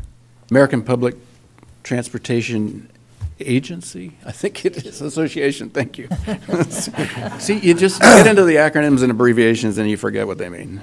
So, so that's exciting. We'll, we'll continue, um, you know, Santa Cruz will continue to be represented on, on state and uh, national and local levels. And so I'm happy to, that you're allowing me to continue to do those kinds of things on behalf of our community. Um, just wrapping up some other minor items, as you know, I've kept you informed about the federal FY20 budget process. Uh, I, I brought a concern to you about the Rostenkowski test uh, that could result in funding for next year being reduced by 12%. That would be as much as a, a million dollar impact to us. Uh, that because the Highway Trust Fund can't prove that it's funded for, for five years looking forward. I'm happy to report that at least for now, under the continuing resolution, they have agreed uh, under Jones McSally Amendment 1141 to set aside the Rouston, Rostenkowski for the continuing resolution. Now, it still could come back and haunt us, but at least for now, for the continuing resolution, which goes through um, November, that, that risk is not there. Um, so we have the continuing resolution. That continuing resolution expires, um, let me just figure that out, November 21st. And we, the, sort of the talk in DC is that there'll be another continuing resolution because of everything going on in DC right now, as you well know. Nobody is focused on the budget, and certainly the president is not. And the president, in usual fashion, is trying to leverage whatever requires his signature into other things. And so there's some of that going on in the backdrop.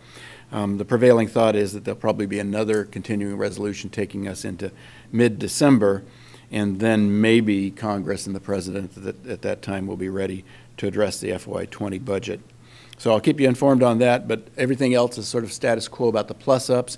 There still has to be a reconciliation between the Senate and the House because their versions are slightly different, um, but both versions are good for us.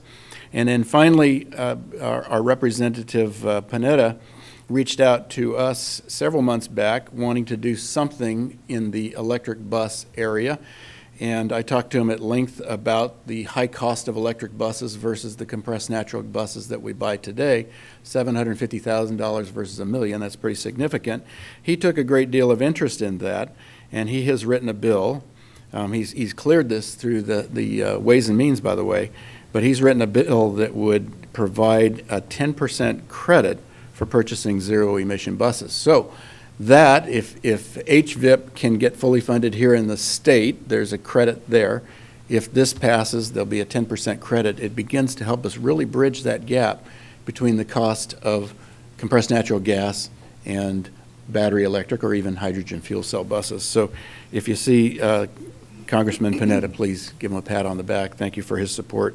Um, It's, obviously, it still has to pass, it still has to get the president's signature, but that's exciting that he's putting that bill out.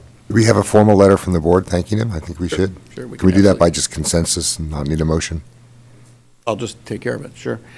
And then finally, uh, today is Barrow's last day with us. Barrow is retiring, I think, as you all know. Um, It has been really good for us to have Barrow at this agency over the last, I think, four, four and a half years. Uh, He has brought with him uh, an enormous background of experience from different properties, including the private sector, over his career. And while here, uh, you might recall that just as soon as he signed on the dotted line to come to work for us, we threw at him a pretty major structural deficit. And all the work that had to be done through a comprehensive operational analysis to guide us to a place that would hopefully keep the agency as intact as possible, keep as much of our service out there as possible, uh, reduce the, the risk of, of potential layoffs.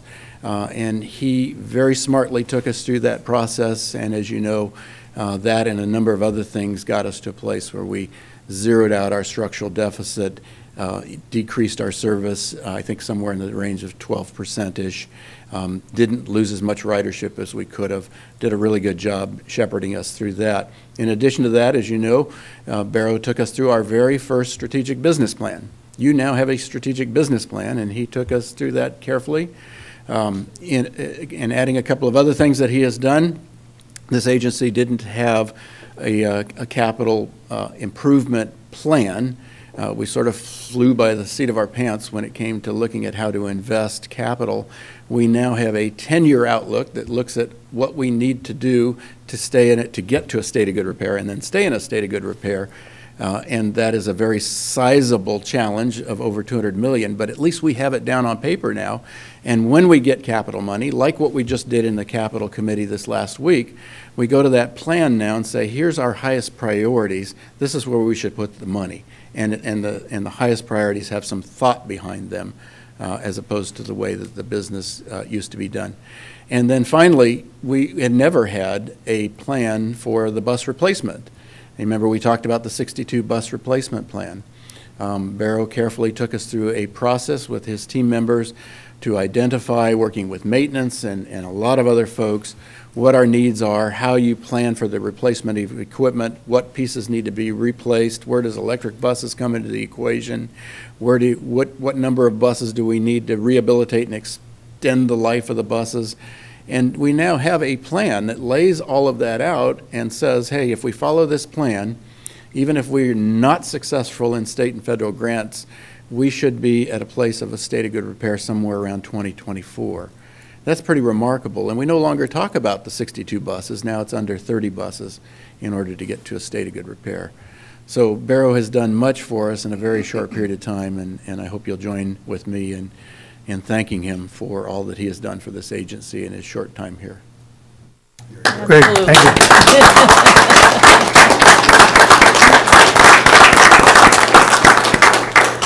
Mr. Chair, that concludes my remarks. Any questions for the CEO? Director Rothwell?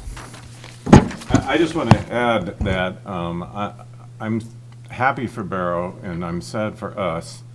I have, on a couple of occasions, commented on how articulate his reports have been over the time that I've been on the Metro. And I applaud him for that, aside from the fact that the long list that you just gave of all of his accomplishments, his presentations, I think, have been outstanding.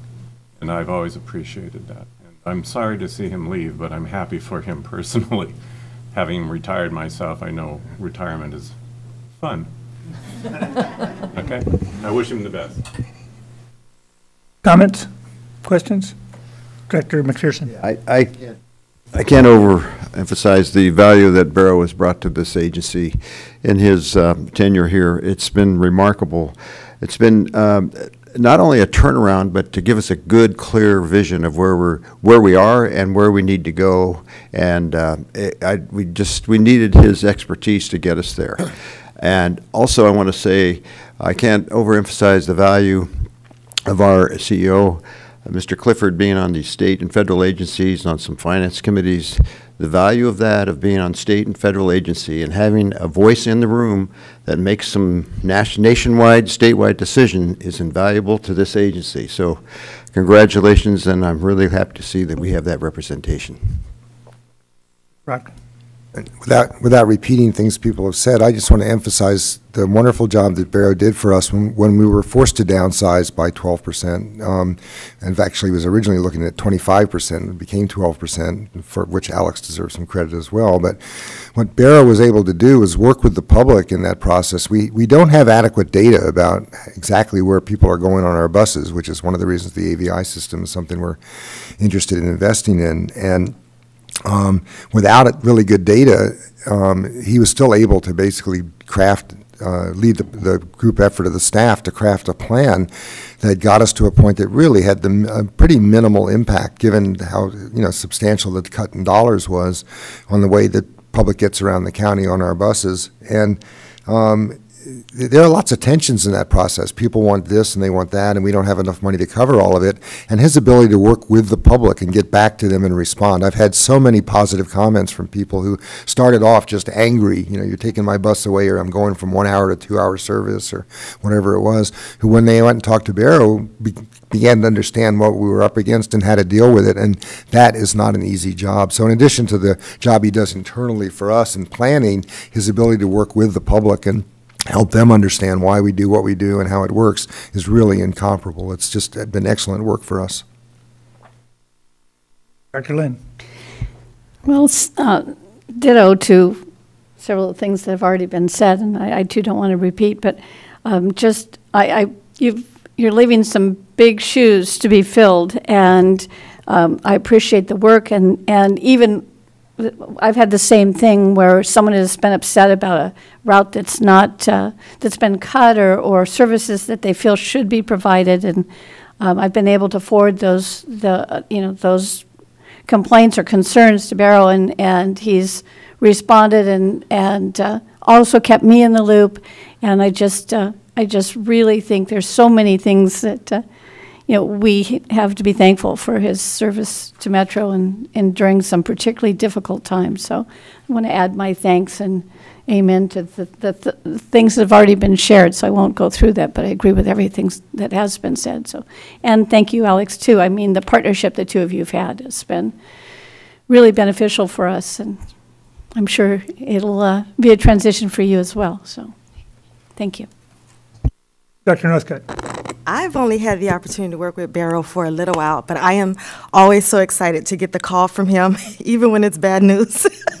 and I'm just very thankful for that um, calming personality that he has, the characteristics that he brings. But in listening to that long list of things that you all have been able to accomplish, and um, as a default have had to endure. I want to thank those of you who have been able to serve for 20 and 35 and 15 years in this organization as you went through all of these changes and you make it seem so um, easy and you don't take it out on the rest of us.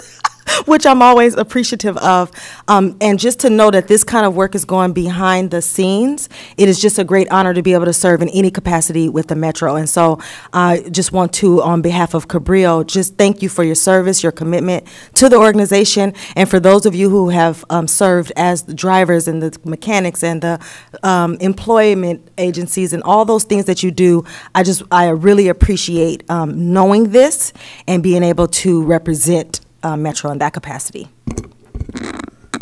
Any other comments? Director Mathews? Briefly, um, I came in on the Metro Board after the worst was over. I, the, the really, really tough couple of years, which was uh, Barrow's trial by fire. So it's hard for me to appreciate uh, probably how radically things have changed. But even coming in where I have, um, it's really important to me, whether it's Metro or City Council or any of our other agencies that we serve on, having having some kind of a roadmap for the future. And uh, we all know that things will evolve for a whole lot of reasons, but to have some sense of what priorities and um, conditions are and trends going into the future is just so essential. So um, I really appreciate that we've got that in place in a whole lot of different ways. It it, um, it gives a lot more assurance that we um, have some, some sense of where we need to be going. So thank you. Great. Any other comments? Mr. Gonzalez? I'm, I'm just going to keep mine real quick. I just met Mr. Burrows this year, so thank you for helping me out with the mural. Uh, I was really hoping to have it done for you before you, you left, but uh, it will be completed this year. Thanks. Okay, I get the last word. So uh, I I pretty much started with Barrow, and so all I've ever known is Barrow being in that position. And, and I think uh, what, what strikes me about this organization, the, the, this Metro family, as, as I was told when I started, was, you know, in, in this organization, there's just certain people that, that you just go to when you need something, okay? And there's a lot of you, okay? There's a lot of you. So, I mean, right now, we're focusing on Barrow, but I mean, I think even with the bus drivers, you know that there's, you know, if you've got a problem, there's one guy you go talk to. There's a guy that always is even keeled or will motivate you, or make you feel better about what you do. And I know that for me, you know, in this organization, there's, whether it's, it- it's kind of like in a family, there's a big brother, big sister. There's always a couple people that I knew that if I had a problem or question, I could call, and they would, you know, not make me feel like I didn't know anything. They would help me along. And, and Barrow, you're one of those guys, okay? You know, that we, we struggled, everybody mentioned everything we went through. Uh, and I, I think the most important thing of all the things you accomplished was, is as Mike touched on, is that, you know, when we got the feedback from citizens groups that you would go meet with, was always a positive thing. And that's hard to do. It's hard from this side to go out there to convey what you want to do and, and, and have it well received. And whatever ability you had to, you know, whether it's a great listener or a diplomat or whatever it was, you made it work. So I want to thank you for how you dealt with the public, and uh, I think that's your biggest tribute. So for all of us, just one more round of applause for Barrow. Thank you.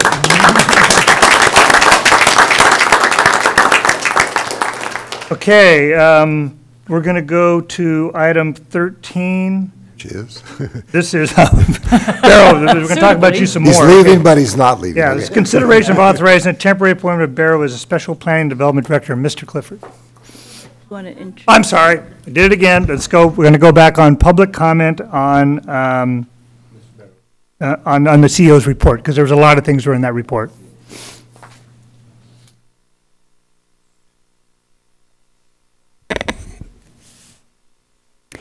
New technology, and we are often presented with an image of something new is great or this technology is great.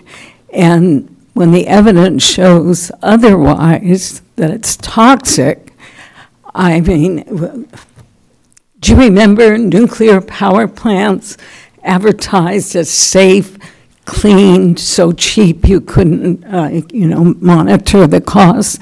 Look what we've got now.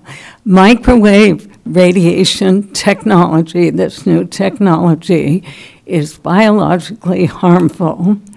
You do not have an informed consent from everyone getting on the bus and all the bus drivers that they are exposed 24 7 to wireless microwave radiation from various sources from the bus company.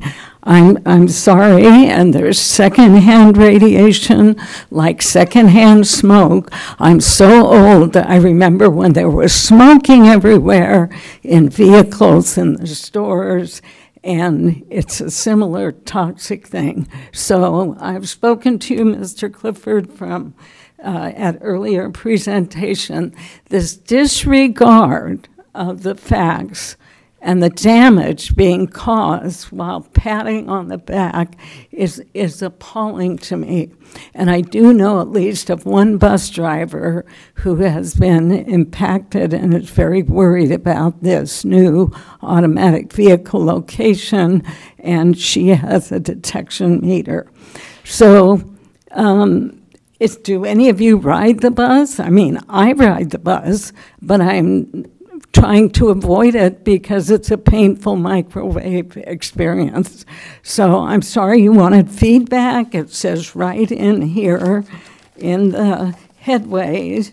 And here are some of the ads for these toxic cell phones to use. Um, we need real health and we need truth and we need harm to be removed. So um, I'm sorry, that's, that's my view. Very, very discouraging. Thank you. Thank you.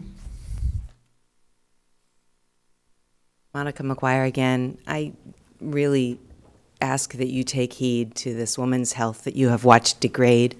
If you watched her over the years, she's jokes about being elderly, but she actually is not that old.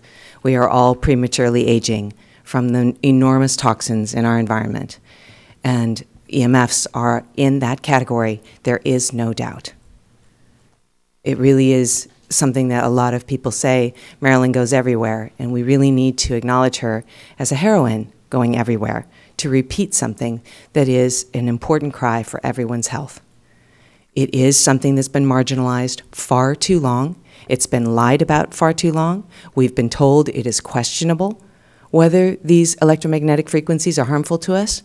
There are more 27 year olds with diseases and problems that usually hit people at 55 or later than ever before in history by far, such a far long shot.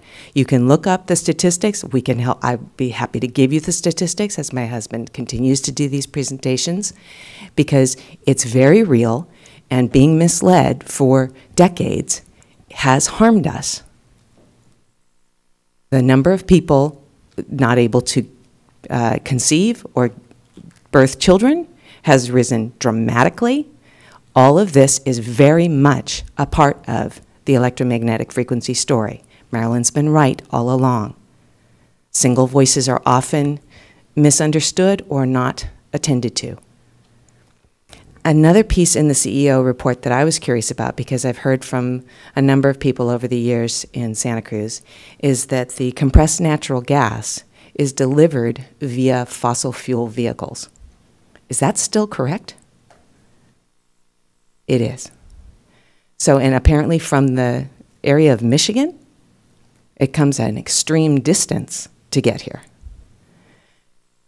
So that's very bothersome.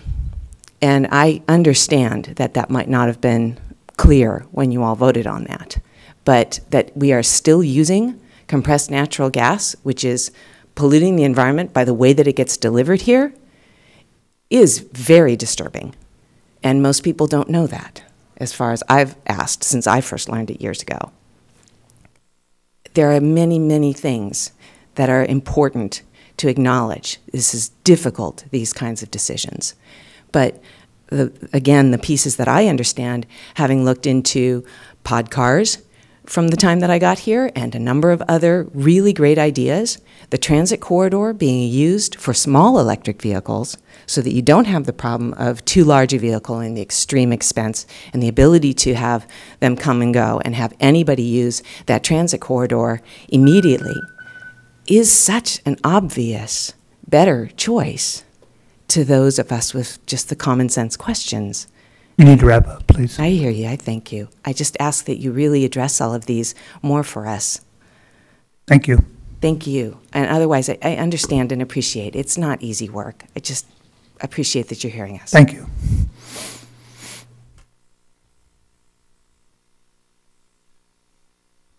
Jessica Evans again. Um, I also wanted to appreciate Barrow. He came and spoke with the Campaign for Sustainable Transportation with some other staff members, and it was really wonderful to have those gentlemen come and speak to us. Um, really appreciated getting to um, have that insight And um, also appreciate the presentation from Mr. Clifford today. And I wanted to ask, I saw in the agenda, I was looking for the materials related to his presentation. I saw that it was marked as an oral presentation only. Um, I'm not that fast of a note taker.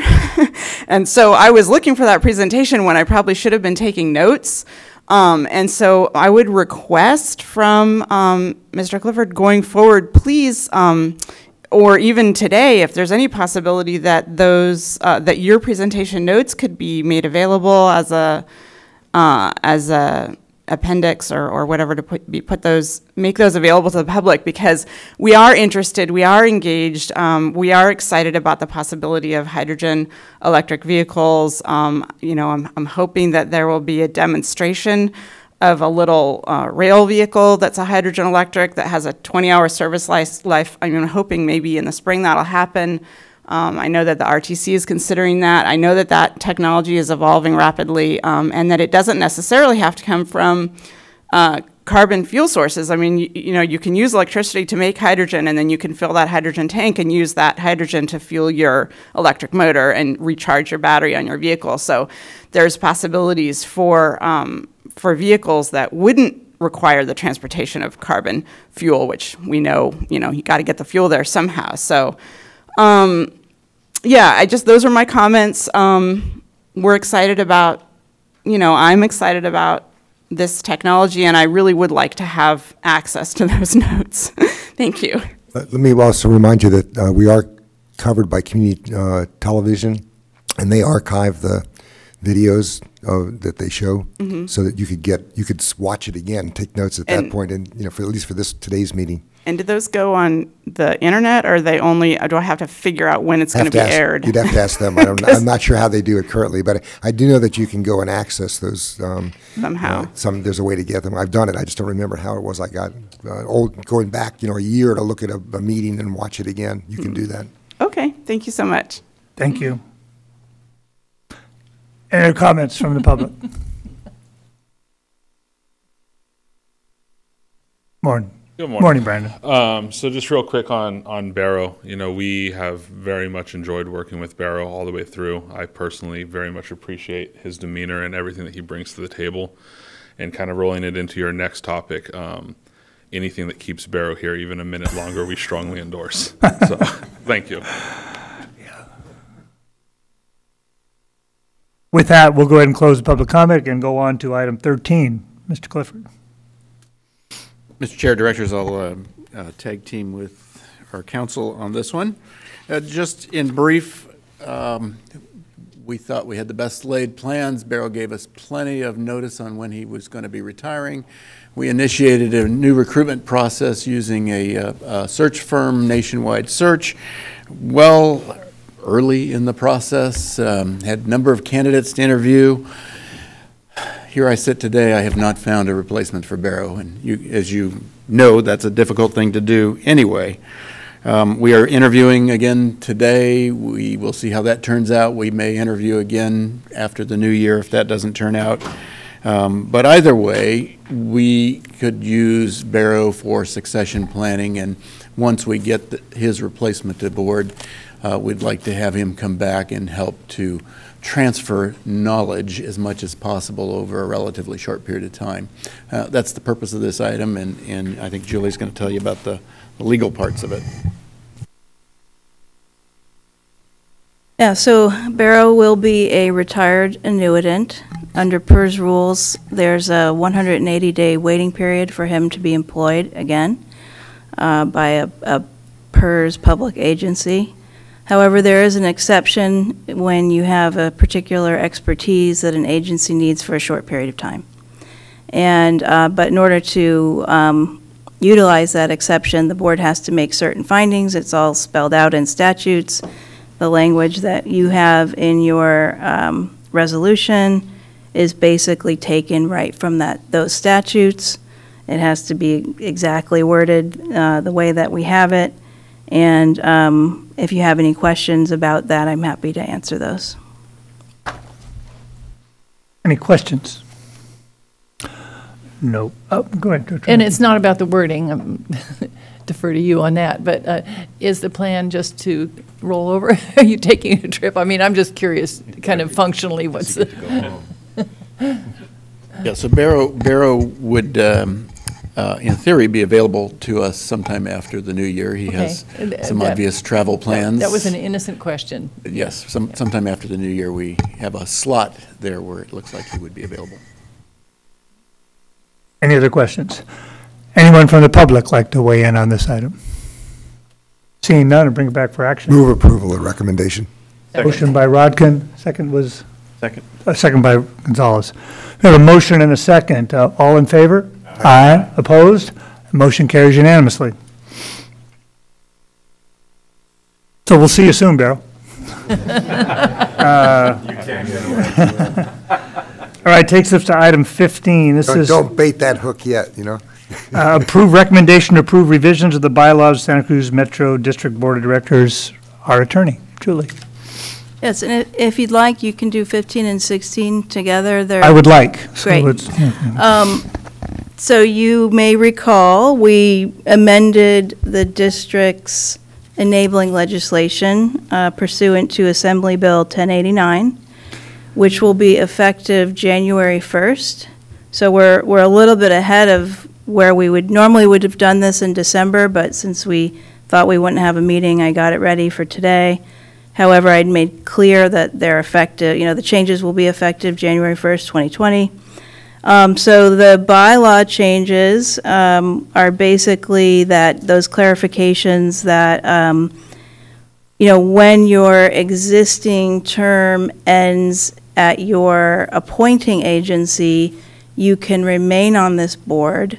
You'll remember we've had some issues where we had some vacancies because the um, next appointment hadn't come through yet. So we have solved that issue.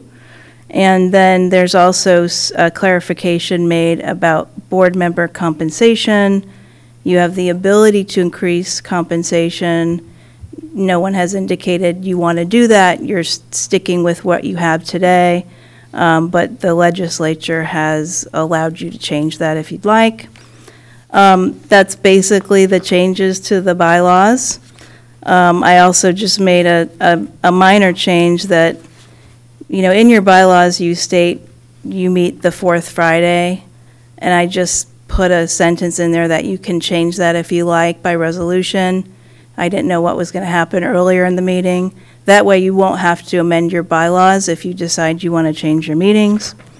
Um, That's it for the bylaws. Any questions on the bylaws? Questions? Director Rotkin? This pertains actually to both of these items.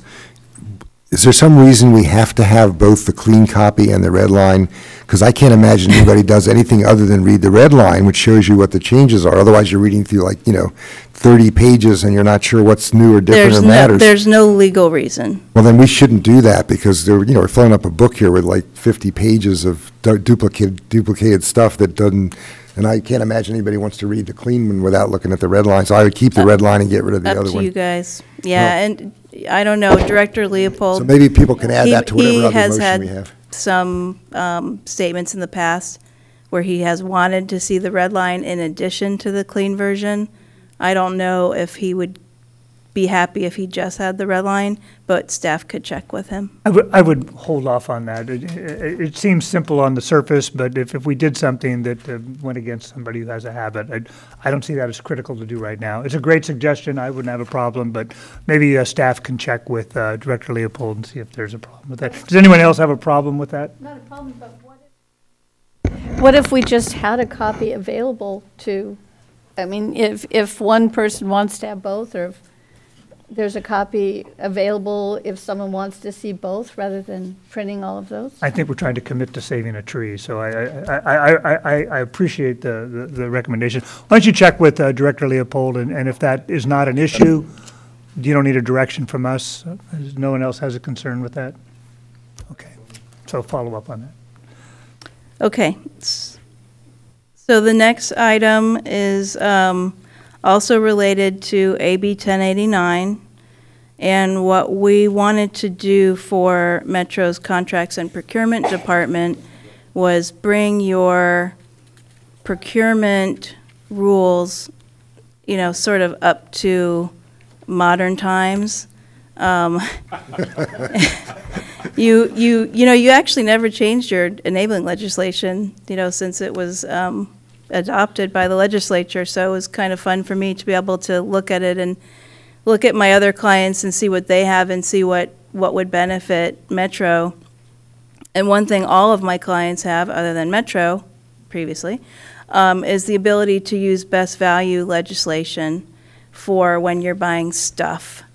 And, um, you know, it's sort of this antiquated rule that you have to go with the low bidder. And it's, you know, has to do with like government corruption and graft and stuff, you know, going back to, you know, the 19th century. And, um, you know, nowadays, you know, it, it's just a different procurement, you know, environment. You know, you might, you just don't want to pay low, low bid for every type of, you know, thing that you buy because there might be services, you know, in the, in the procurement, you know, mixed in, there's technology.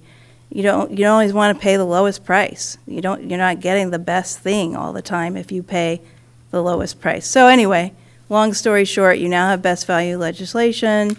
Um, if it's the type of thing that really should be low bid, then procurement staff will still be doing low bid, you know, so it's not, a- it's not a way to game it, you know, it's, if you're buying something that's, it's a widget, a widget is a widget is a widget, you want the lowest price. But if there's some more complex type of arrangement, procurement, now they have the flexibility. So I think they're, they're gonna really appreciate that. Um, otherwise, I just updated, you know, position titles and things that were outdated. Cleanup. Yep. Okay. Any questions? Any questions from the public on this topic, on either one of these two topics? Good morning, Joan.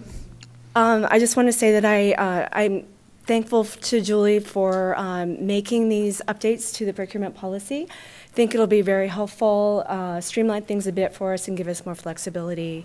So thank you. Um, one thing I just would suggest is not updating the title for uh, purchasing s- and special projects director because now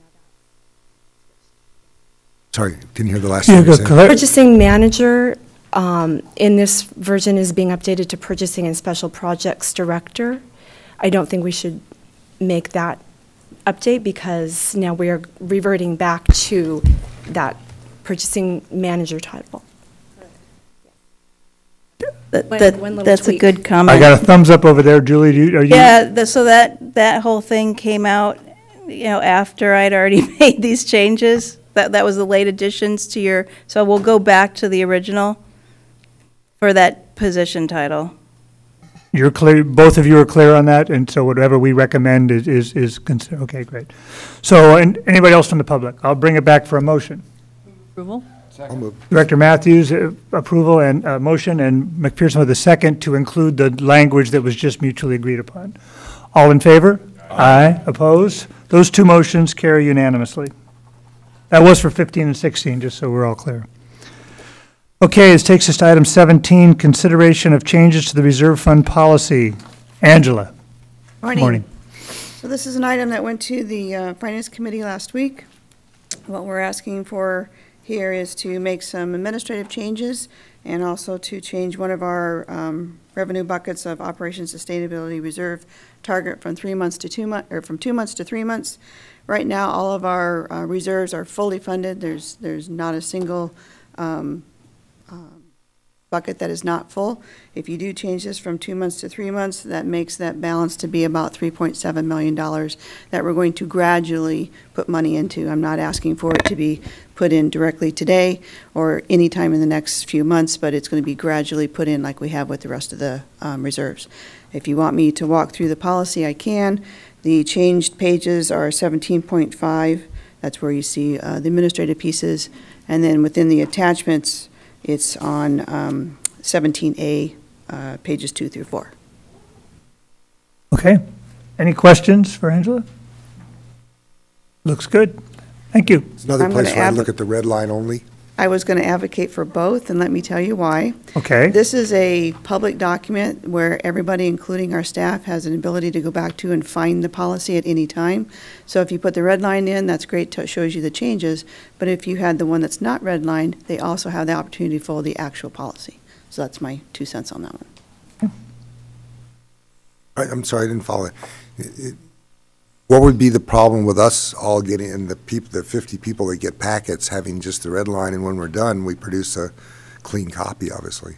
No issue. But that's still under consideration based on Feedback. Leopold's issues or whatever's still out there. Commissioner Coffman Gomez. Yes, um, with the addition to go from the two to the three months, what are you looking at in terms of a timeline to fill that bucket for that extra month? That's up to the board. Um, What we normally do is we go through our process of year-end closeout. So every year, we come to you and show you what our reserves uh, buckets are looking at, and we also talk about the carryover. We had a discussion about the uh, carryover funds that uh, Barrow presented to the Finance Committee and also to the Capital Committee about what we wanted to do with the carryovers for 2019, and we have now dedicated those to additional projects. So that would be um, When you have carryover, you have a plethora of things that you could use it on because it's, it's called, um, uh, you know, there's no strings to that money. You can use it for anything, capital as well as operating. So this would be one thing, one of the buckets the money could go into. You can, you can fund a capital project, you can fund ongoing operating expenses, you can fund any, any expense that we need or liability that we need to pay down. Would those generally be one-time funds? They are always one-time funds. They are never reoccurring. Thank you. Any other questions? Anybody from the public like to weigh in on item 17? Seeing none, I'll bring it back for action. Move approval? I'll second the Motion motion. by Rotkin, second by Coffman Gomez. All those in favor? Aye. Opposed? That i- motion carries unanimously. Takes us to item 18. Angela, stay there. Consideration accepting finance budget and audits recommendations regarding pension, UAL, and uh, OPEBs.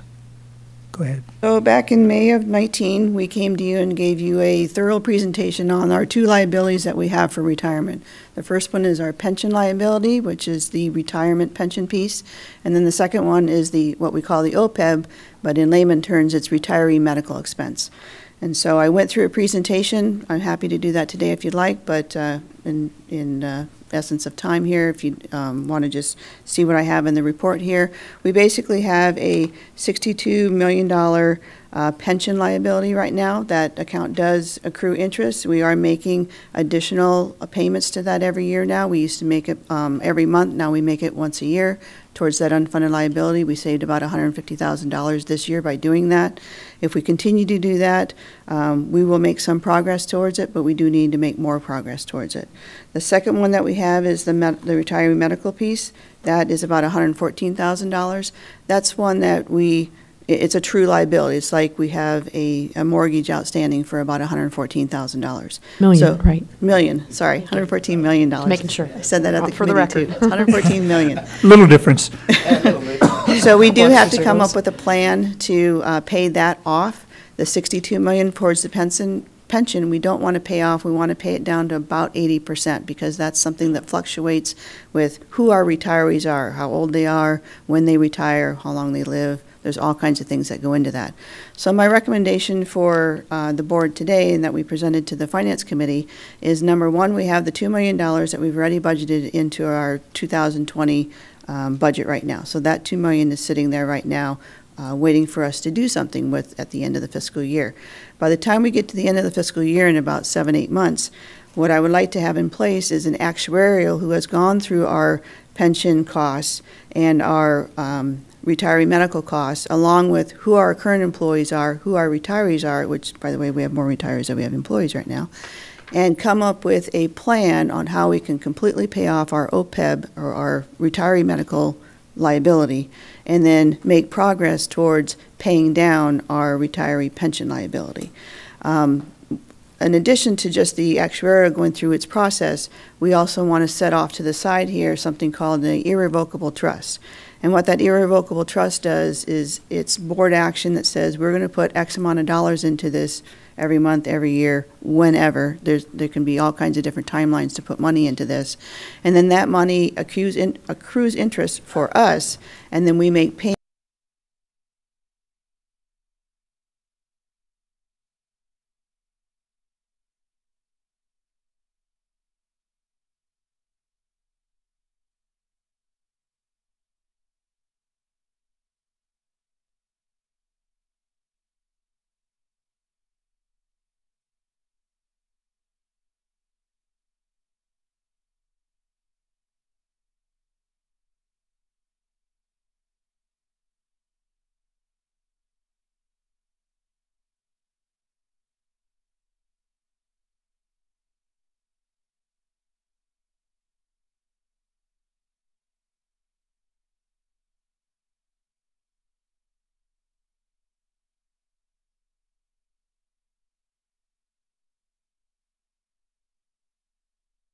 definitely have to have this addressed. It's a big elephant in the room. So thank you for that.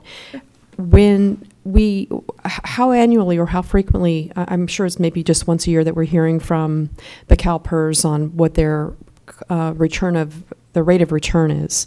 Um, When do those reports come in? And maybe in summary, in the process of doing this, that we could just see what their, the, what they came in versus what their, I mean, seven percent is their, their, their goal number, but I don't know how far off they really are, because I don't know how realistic that, that rate of return is, and when do we get the reports from them on that? I'm not clear on exactly what you're asking for. Are you asking for what our actuarial rate will be going forward? Because we get that every year. Or are you asking how much CalPERS thinks they're getting as a return on their investments? Well, we, I believe that their goal is seven percent on the return, and I don't know how realistic that is, because based on that is how much our debt is, um, that we are obligated to pay in. So I just, there, there's some report that they provide us with, and maybe that could be summarized in some way when we go and do this process and see, you know, how much of an impact it's had on what debt we have to be paying in because they're not doing as well or performing as well, or maybe they're performing better than anticipated. I, I don't know where to gauge um, where, where we're going with this particular debt on, on how it's increasing and how we're managing it. We can put that into the report when we come back with the actuarial. That would be good. um, Historically, CalPERS has not had real reliable information on how they invest. I- Exactly, but uh, something, at least a a benchmark of some sort. I, I haven't been pleased with their side of reporting and transparency anyway, but we know we need to be and, and making sure that we're committing to the promise that we've made with all of our employees. And this is, the, the hindsight, you know, they're, you know, they're no longer providing a service to us, but we are still obligated um, quite some time out after they've retired and want to make sure that that money is available to them for those resources. Okay, any other questions? Anybody from the public like to weigh information? Is this when PERS annually reports, is that what you're looking at? So Christina, one of the, my staff that put all this information together, she just provided me with something for fiscal year 19, which was this past year. Their guesstimate at that time, return on investment was 6.7 for CalPERS. As close as they've ever gotten. And still. And they report once a year, uh, on a regular basis, don't they send out a report once a year per, cal, cal, once a year, yeah? Okay. All right, well, seven percent is close. All right, thank you. Anybody from the public like to weigh in on this? Seeing that, I'll bring it back for action. Approval? Approval by uh, Director Mathews. I'll second the Second by motion. Coffman Gomez. All in favor? Aye. Oppose? That motion carries unanimously. Takes us to item 20, Pacific Station oral update. Barrow Emerson, as you walk to the podium, this is probably going to be the last presentation you'll ever make, so uh, we're going to expect miraculous uh, composure here. composure. Um, Real quickly on this item, as I reported to both Capital and Finance, three points. First of all, thank you very much for your approval of item 9-9. That's a real personal feeling of accomplishment for Alex and I to have climbed out of the hole. You heard the speech, and I'm not making it here at the last two committees. From where we were four years ago to be, being able to allocate a few million dollars to projects that have been at the top of that list for four years. So thank you very much for that. So Pacific Station update. Number one, that $4 million commitment is now real. Number two, we are reviewing a draft MOU created, uh, developed by uh, city staff in conjunction with us. There'll be a little negotiation back and forth as there always is. But the big picture, February 2021, about 14 months from now, together, city, metro, and a private development partner will submit an application to the state of California for probably 10 to 15 million dollars to make the dream happen. So we're on a path now, and we really thank you for today. So that's my update on Pacific Station. Happy to take any min, um, uh, questions, but however, I would like to beg the chair's short indulgence for three quick comments. Absolutely. Shorter than I usually do. Uh, You you can have more, you can have more than three quick I'm not going to overdo it. But Okay. as always, Dan, you're making my mother smile somewhere, so thank you for that. Um, But 42 years ago, on January 3rd, I started as an intern at the city of Long Beach. 42 years and 14 year- jobs. This has been remarkably rewarding. So I just have two other comments. I really want to thank A- Alex for trusting me with the responsibility of helping Metro along its journey. Thank you. To everyone else, the board and all my staff peers, I'd just like to say I'm, I'm happy to have been able to help. So thanks a lot. Thank you.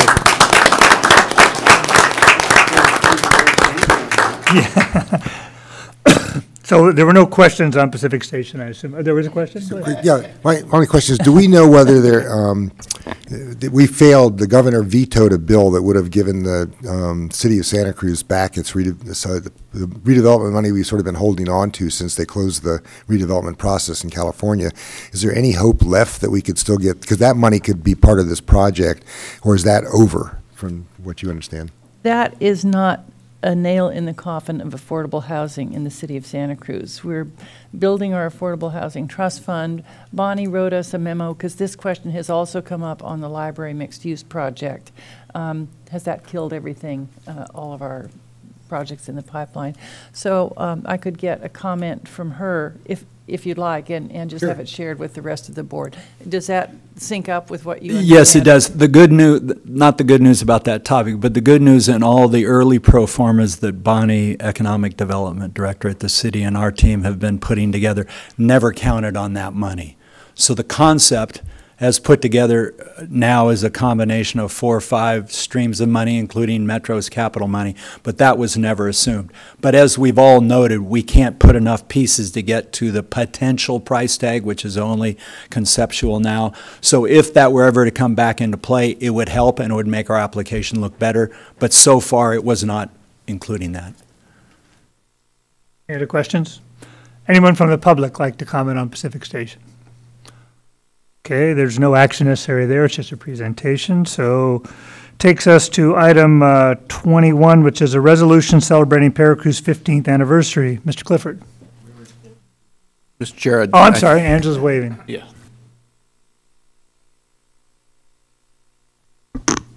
Yes. Oh, I told you, to correct, I got my note here, 28, that's right. Alex, hold on.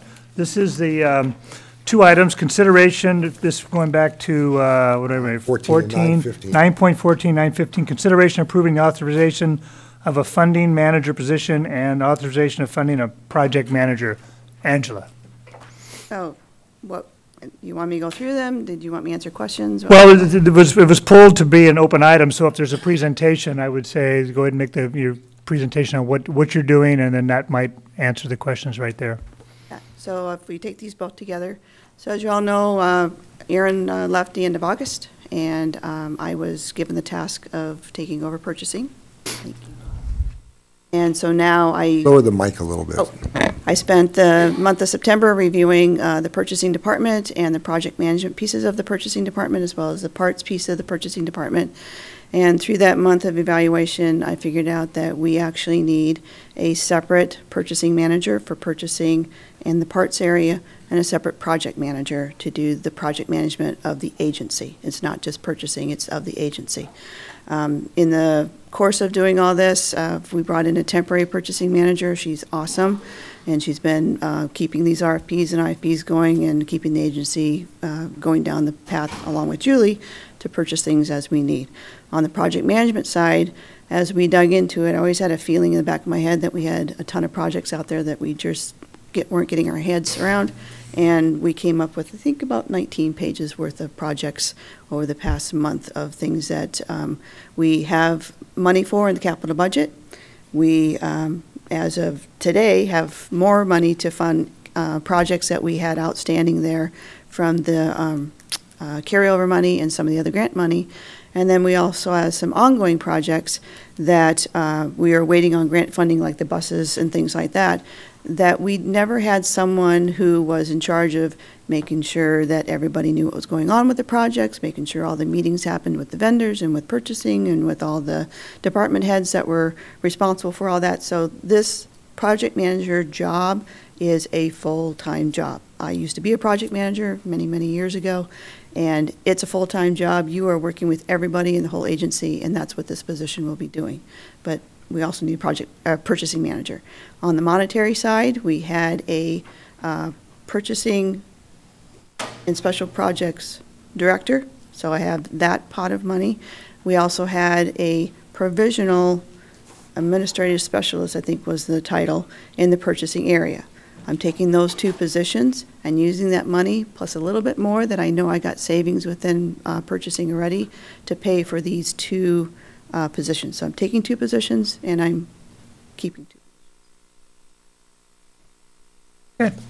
Director Yeah, I mean, this makes sense, thank you. Um, uh, I think one of the reasons I wanted to ask about it is just thinking about um, some of the city operations, that's my frame of reference. Um, For many, many projects, there's an internal project manager in one department or the other, but sometimes a project is so big that we retain a- an external independent project manager. Right. So, you know, some of the things I think that the Metro has in its future may be of that level. S- So I guess the simple question is, do you anticipate that there would be occasions when a separate project manager would be needed for a great big project? It, it's just that balance. Internal or external? Are you talking about an external one? Yeah. So we do use external ones now. I'll give you an example of the bus, the buses, the electric bus project that we have Mhm. going on right now. So we're working with out- outside project CTE, and uh, our internal project manager is the person that's coordinating all the meetings between the outside vendor, project manager, and the buses, and Ciro, and Freddie, and Eddie, and everybody else within Metro to keep that project going, as well as the purchasing side, the finance side. This is a person that's going to make sure everybody comes together, knows what the schedule is, knows where the project stands, the status, the money, timeline, whole nine yards. And in my experience, often the project manager for a big project is the interface between the architect and the contractor, or the designer and contractor, and I was really pleased we're going to the best value. That may solve some of that problem, but um, I guess my main concern was that um, the sole responsibility for some of the larger, more complex projects wouldn't fall exclusively on one person.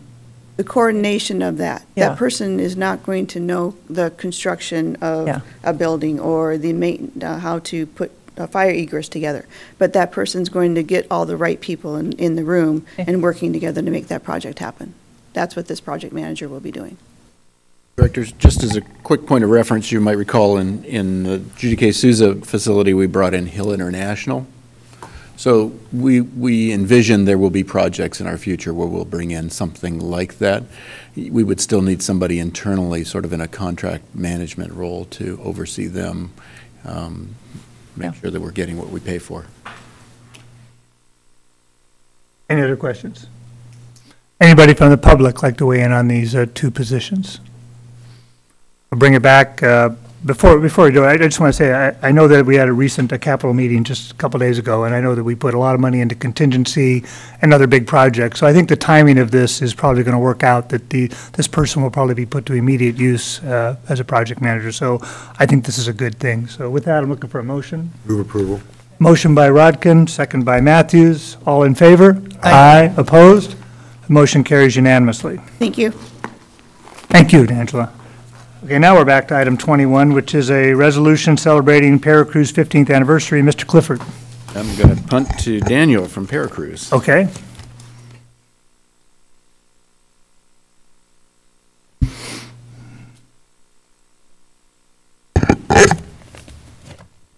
Hello. Thank you for the resolution. Um, you know, November 1st, 2004, that was our first day of service, and I was lucky enough to be there.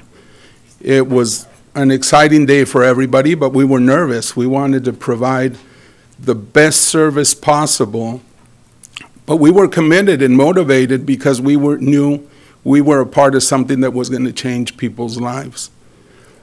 It was going to give, you know, the senior and disabled community the independence to travel to wherever they wanted, not just doctor's appointments, but they would be able to go to school, to work, uh, to the movies, to restaurants, to church, anything they wanted to do. So um, we, we knew we were a part of that and we were happy to do it and we were really motivated to do it. And a lot has changed in 15 years, you know. When I was a driver, we carried a map in our back pocket to find locations. Uh, we worked off of a paper schedule and we had a pen filling out all our schedules. Now we have GPSs, um, we have mobile data computers in the vans, we have cameras. Uh, soon we're going to have uh, automated scheduling and uh, dispatching software. So a lot has changed. But the one thing that hasn't changed in all these years is a commitment to provide the best service possible to the community so people can continue to live independent lives. So on behalf of everybody at Paracruz, I want to thank you for um, having this resolution to um, celebrate the 15 years of Paracruz. Thank you. Thank you, Daniel. I just want to read the, the comment here. It says, "Be it resolved by the Board of Directors of Santa Cruz Metropolitan Transit District, the Board of Directors hereby celebrates the 15th anniversary of Paracruz and recognizes the accomplishments of the Paracruz staff in reaffirming the principles of equity and inclusion in their performance of the highest levels of accessible services for our customers." Thank you, Daniel. Thank you for what Thank you you. do. And uh, anybody from the public like to comment on this? Seeing none, I'll bring it back. Motion by Rotkin. Second. Second by McPherson. All in favor? Aye. Opposed? Carries unanimously. And with that, uh, brings us to the uh, ad- uh, announcement of our next meeting, which now will be January 24th, 2020, at the Metro offices on Vernon Street. Vernon Street. And with that, we are adjourned. Thank you.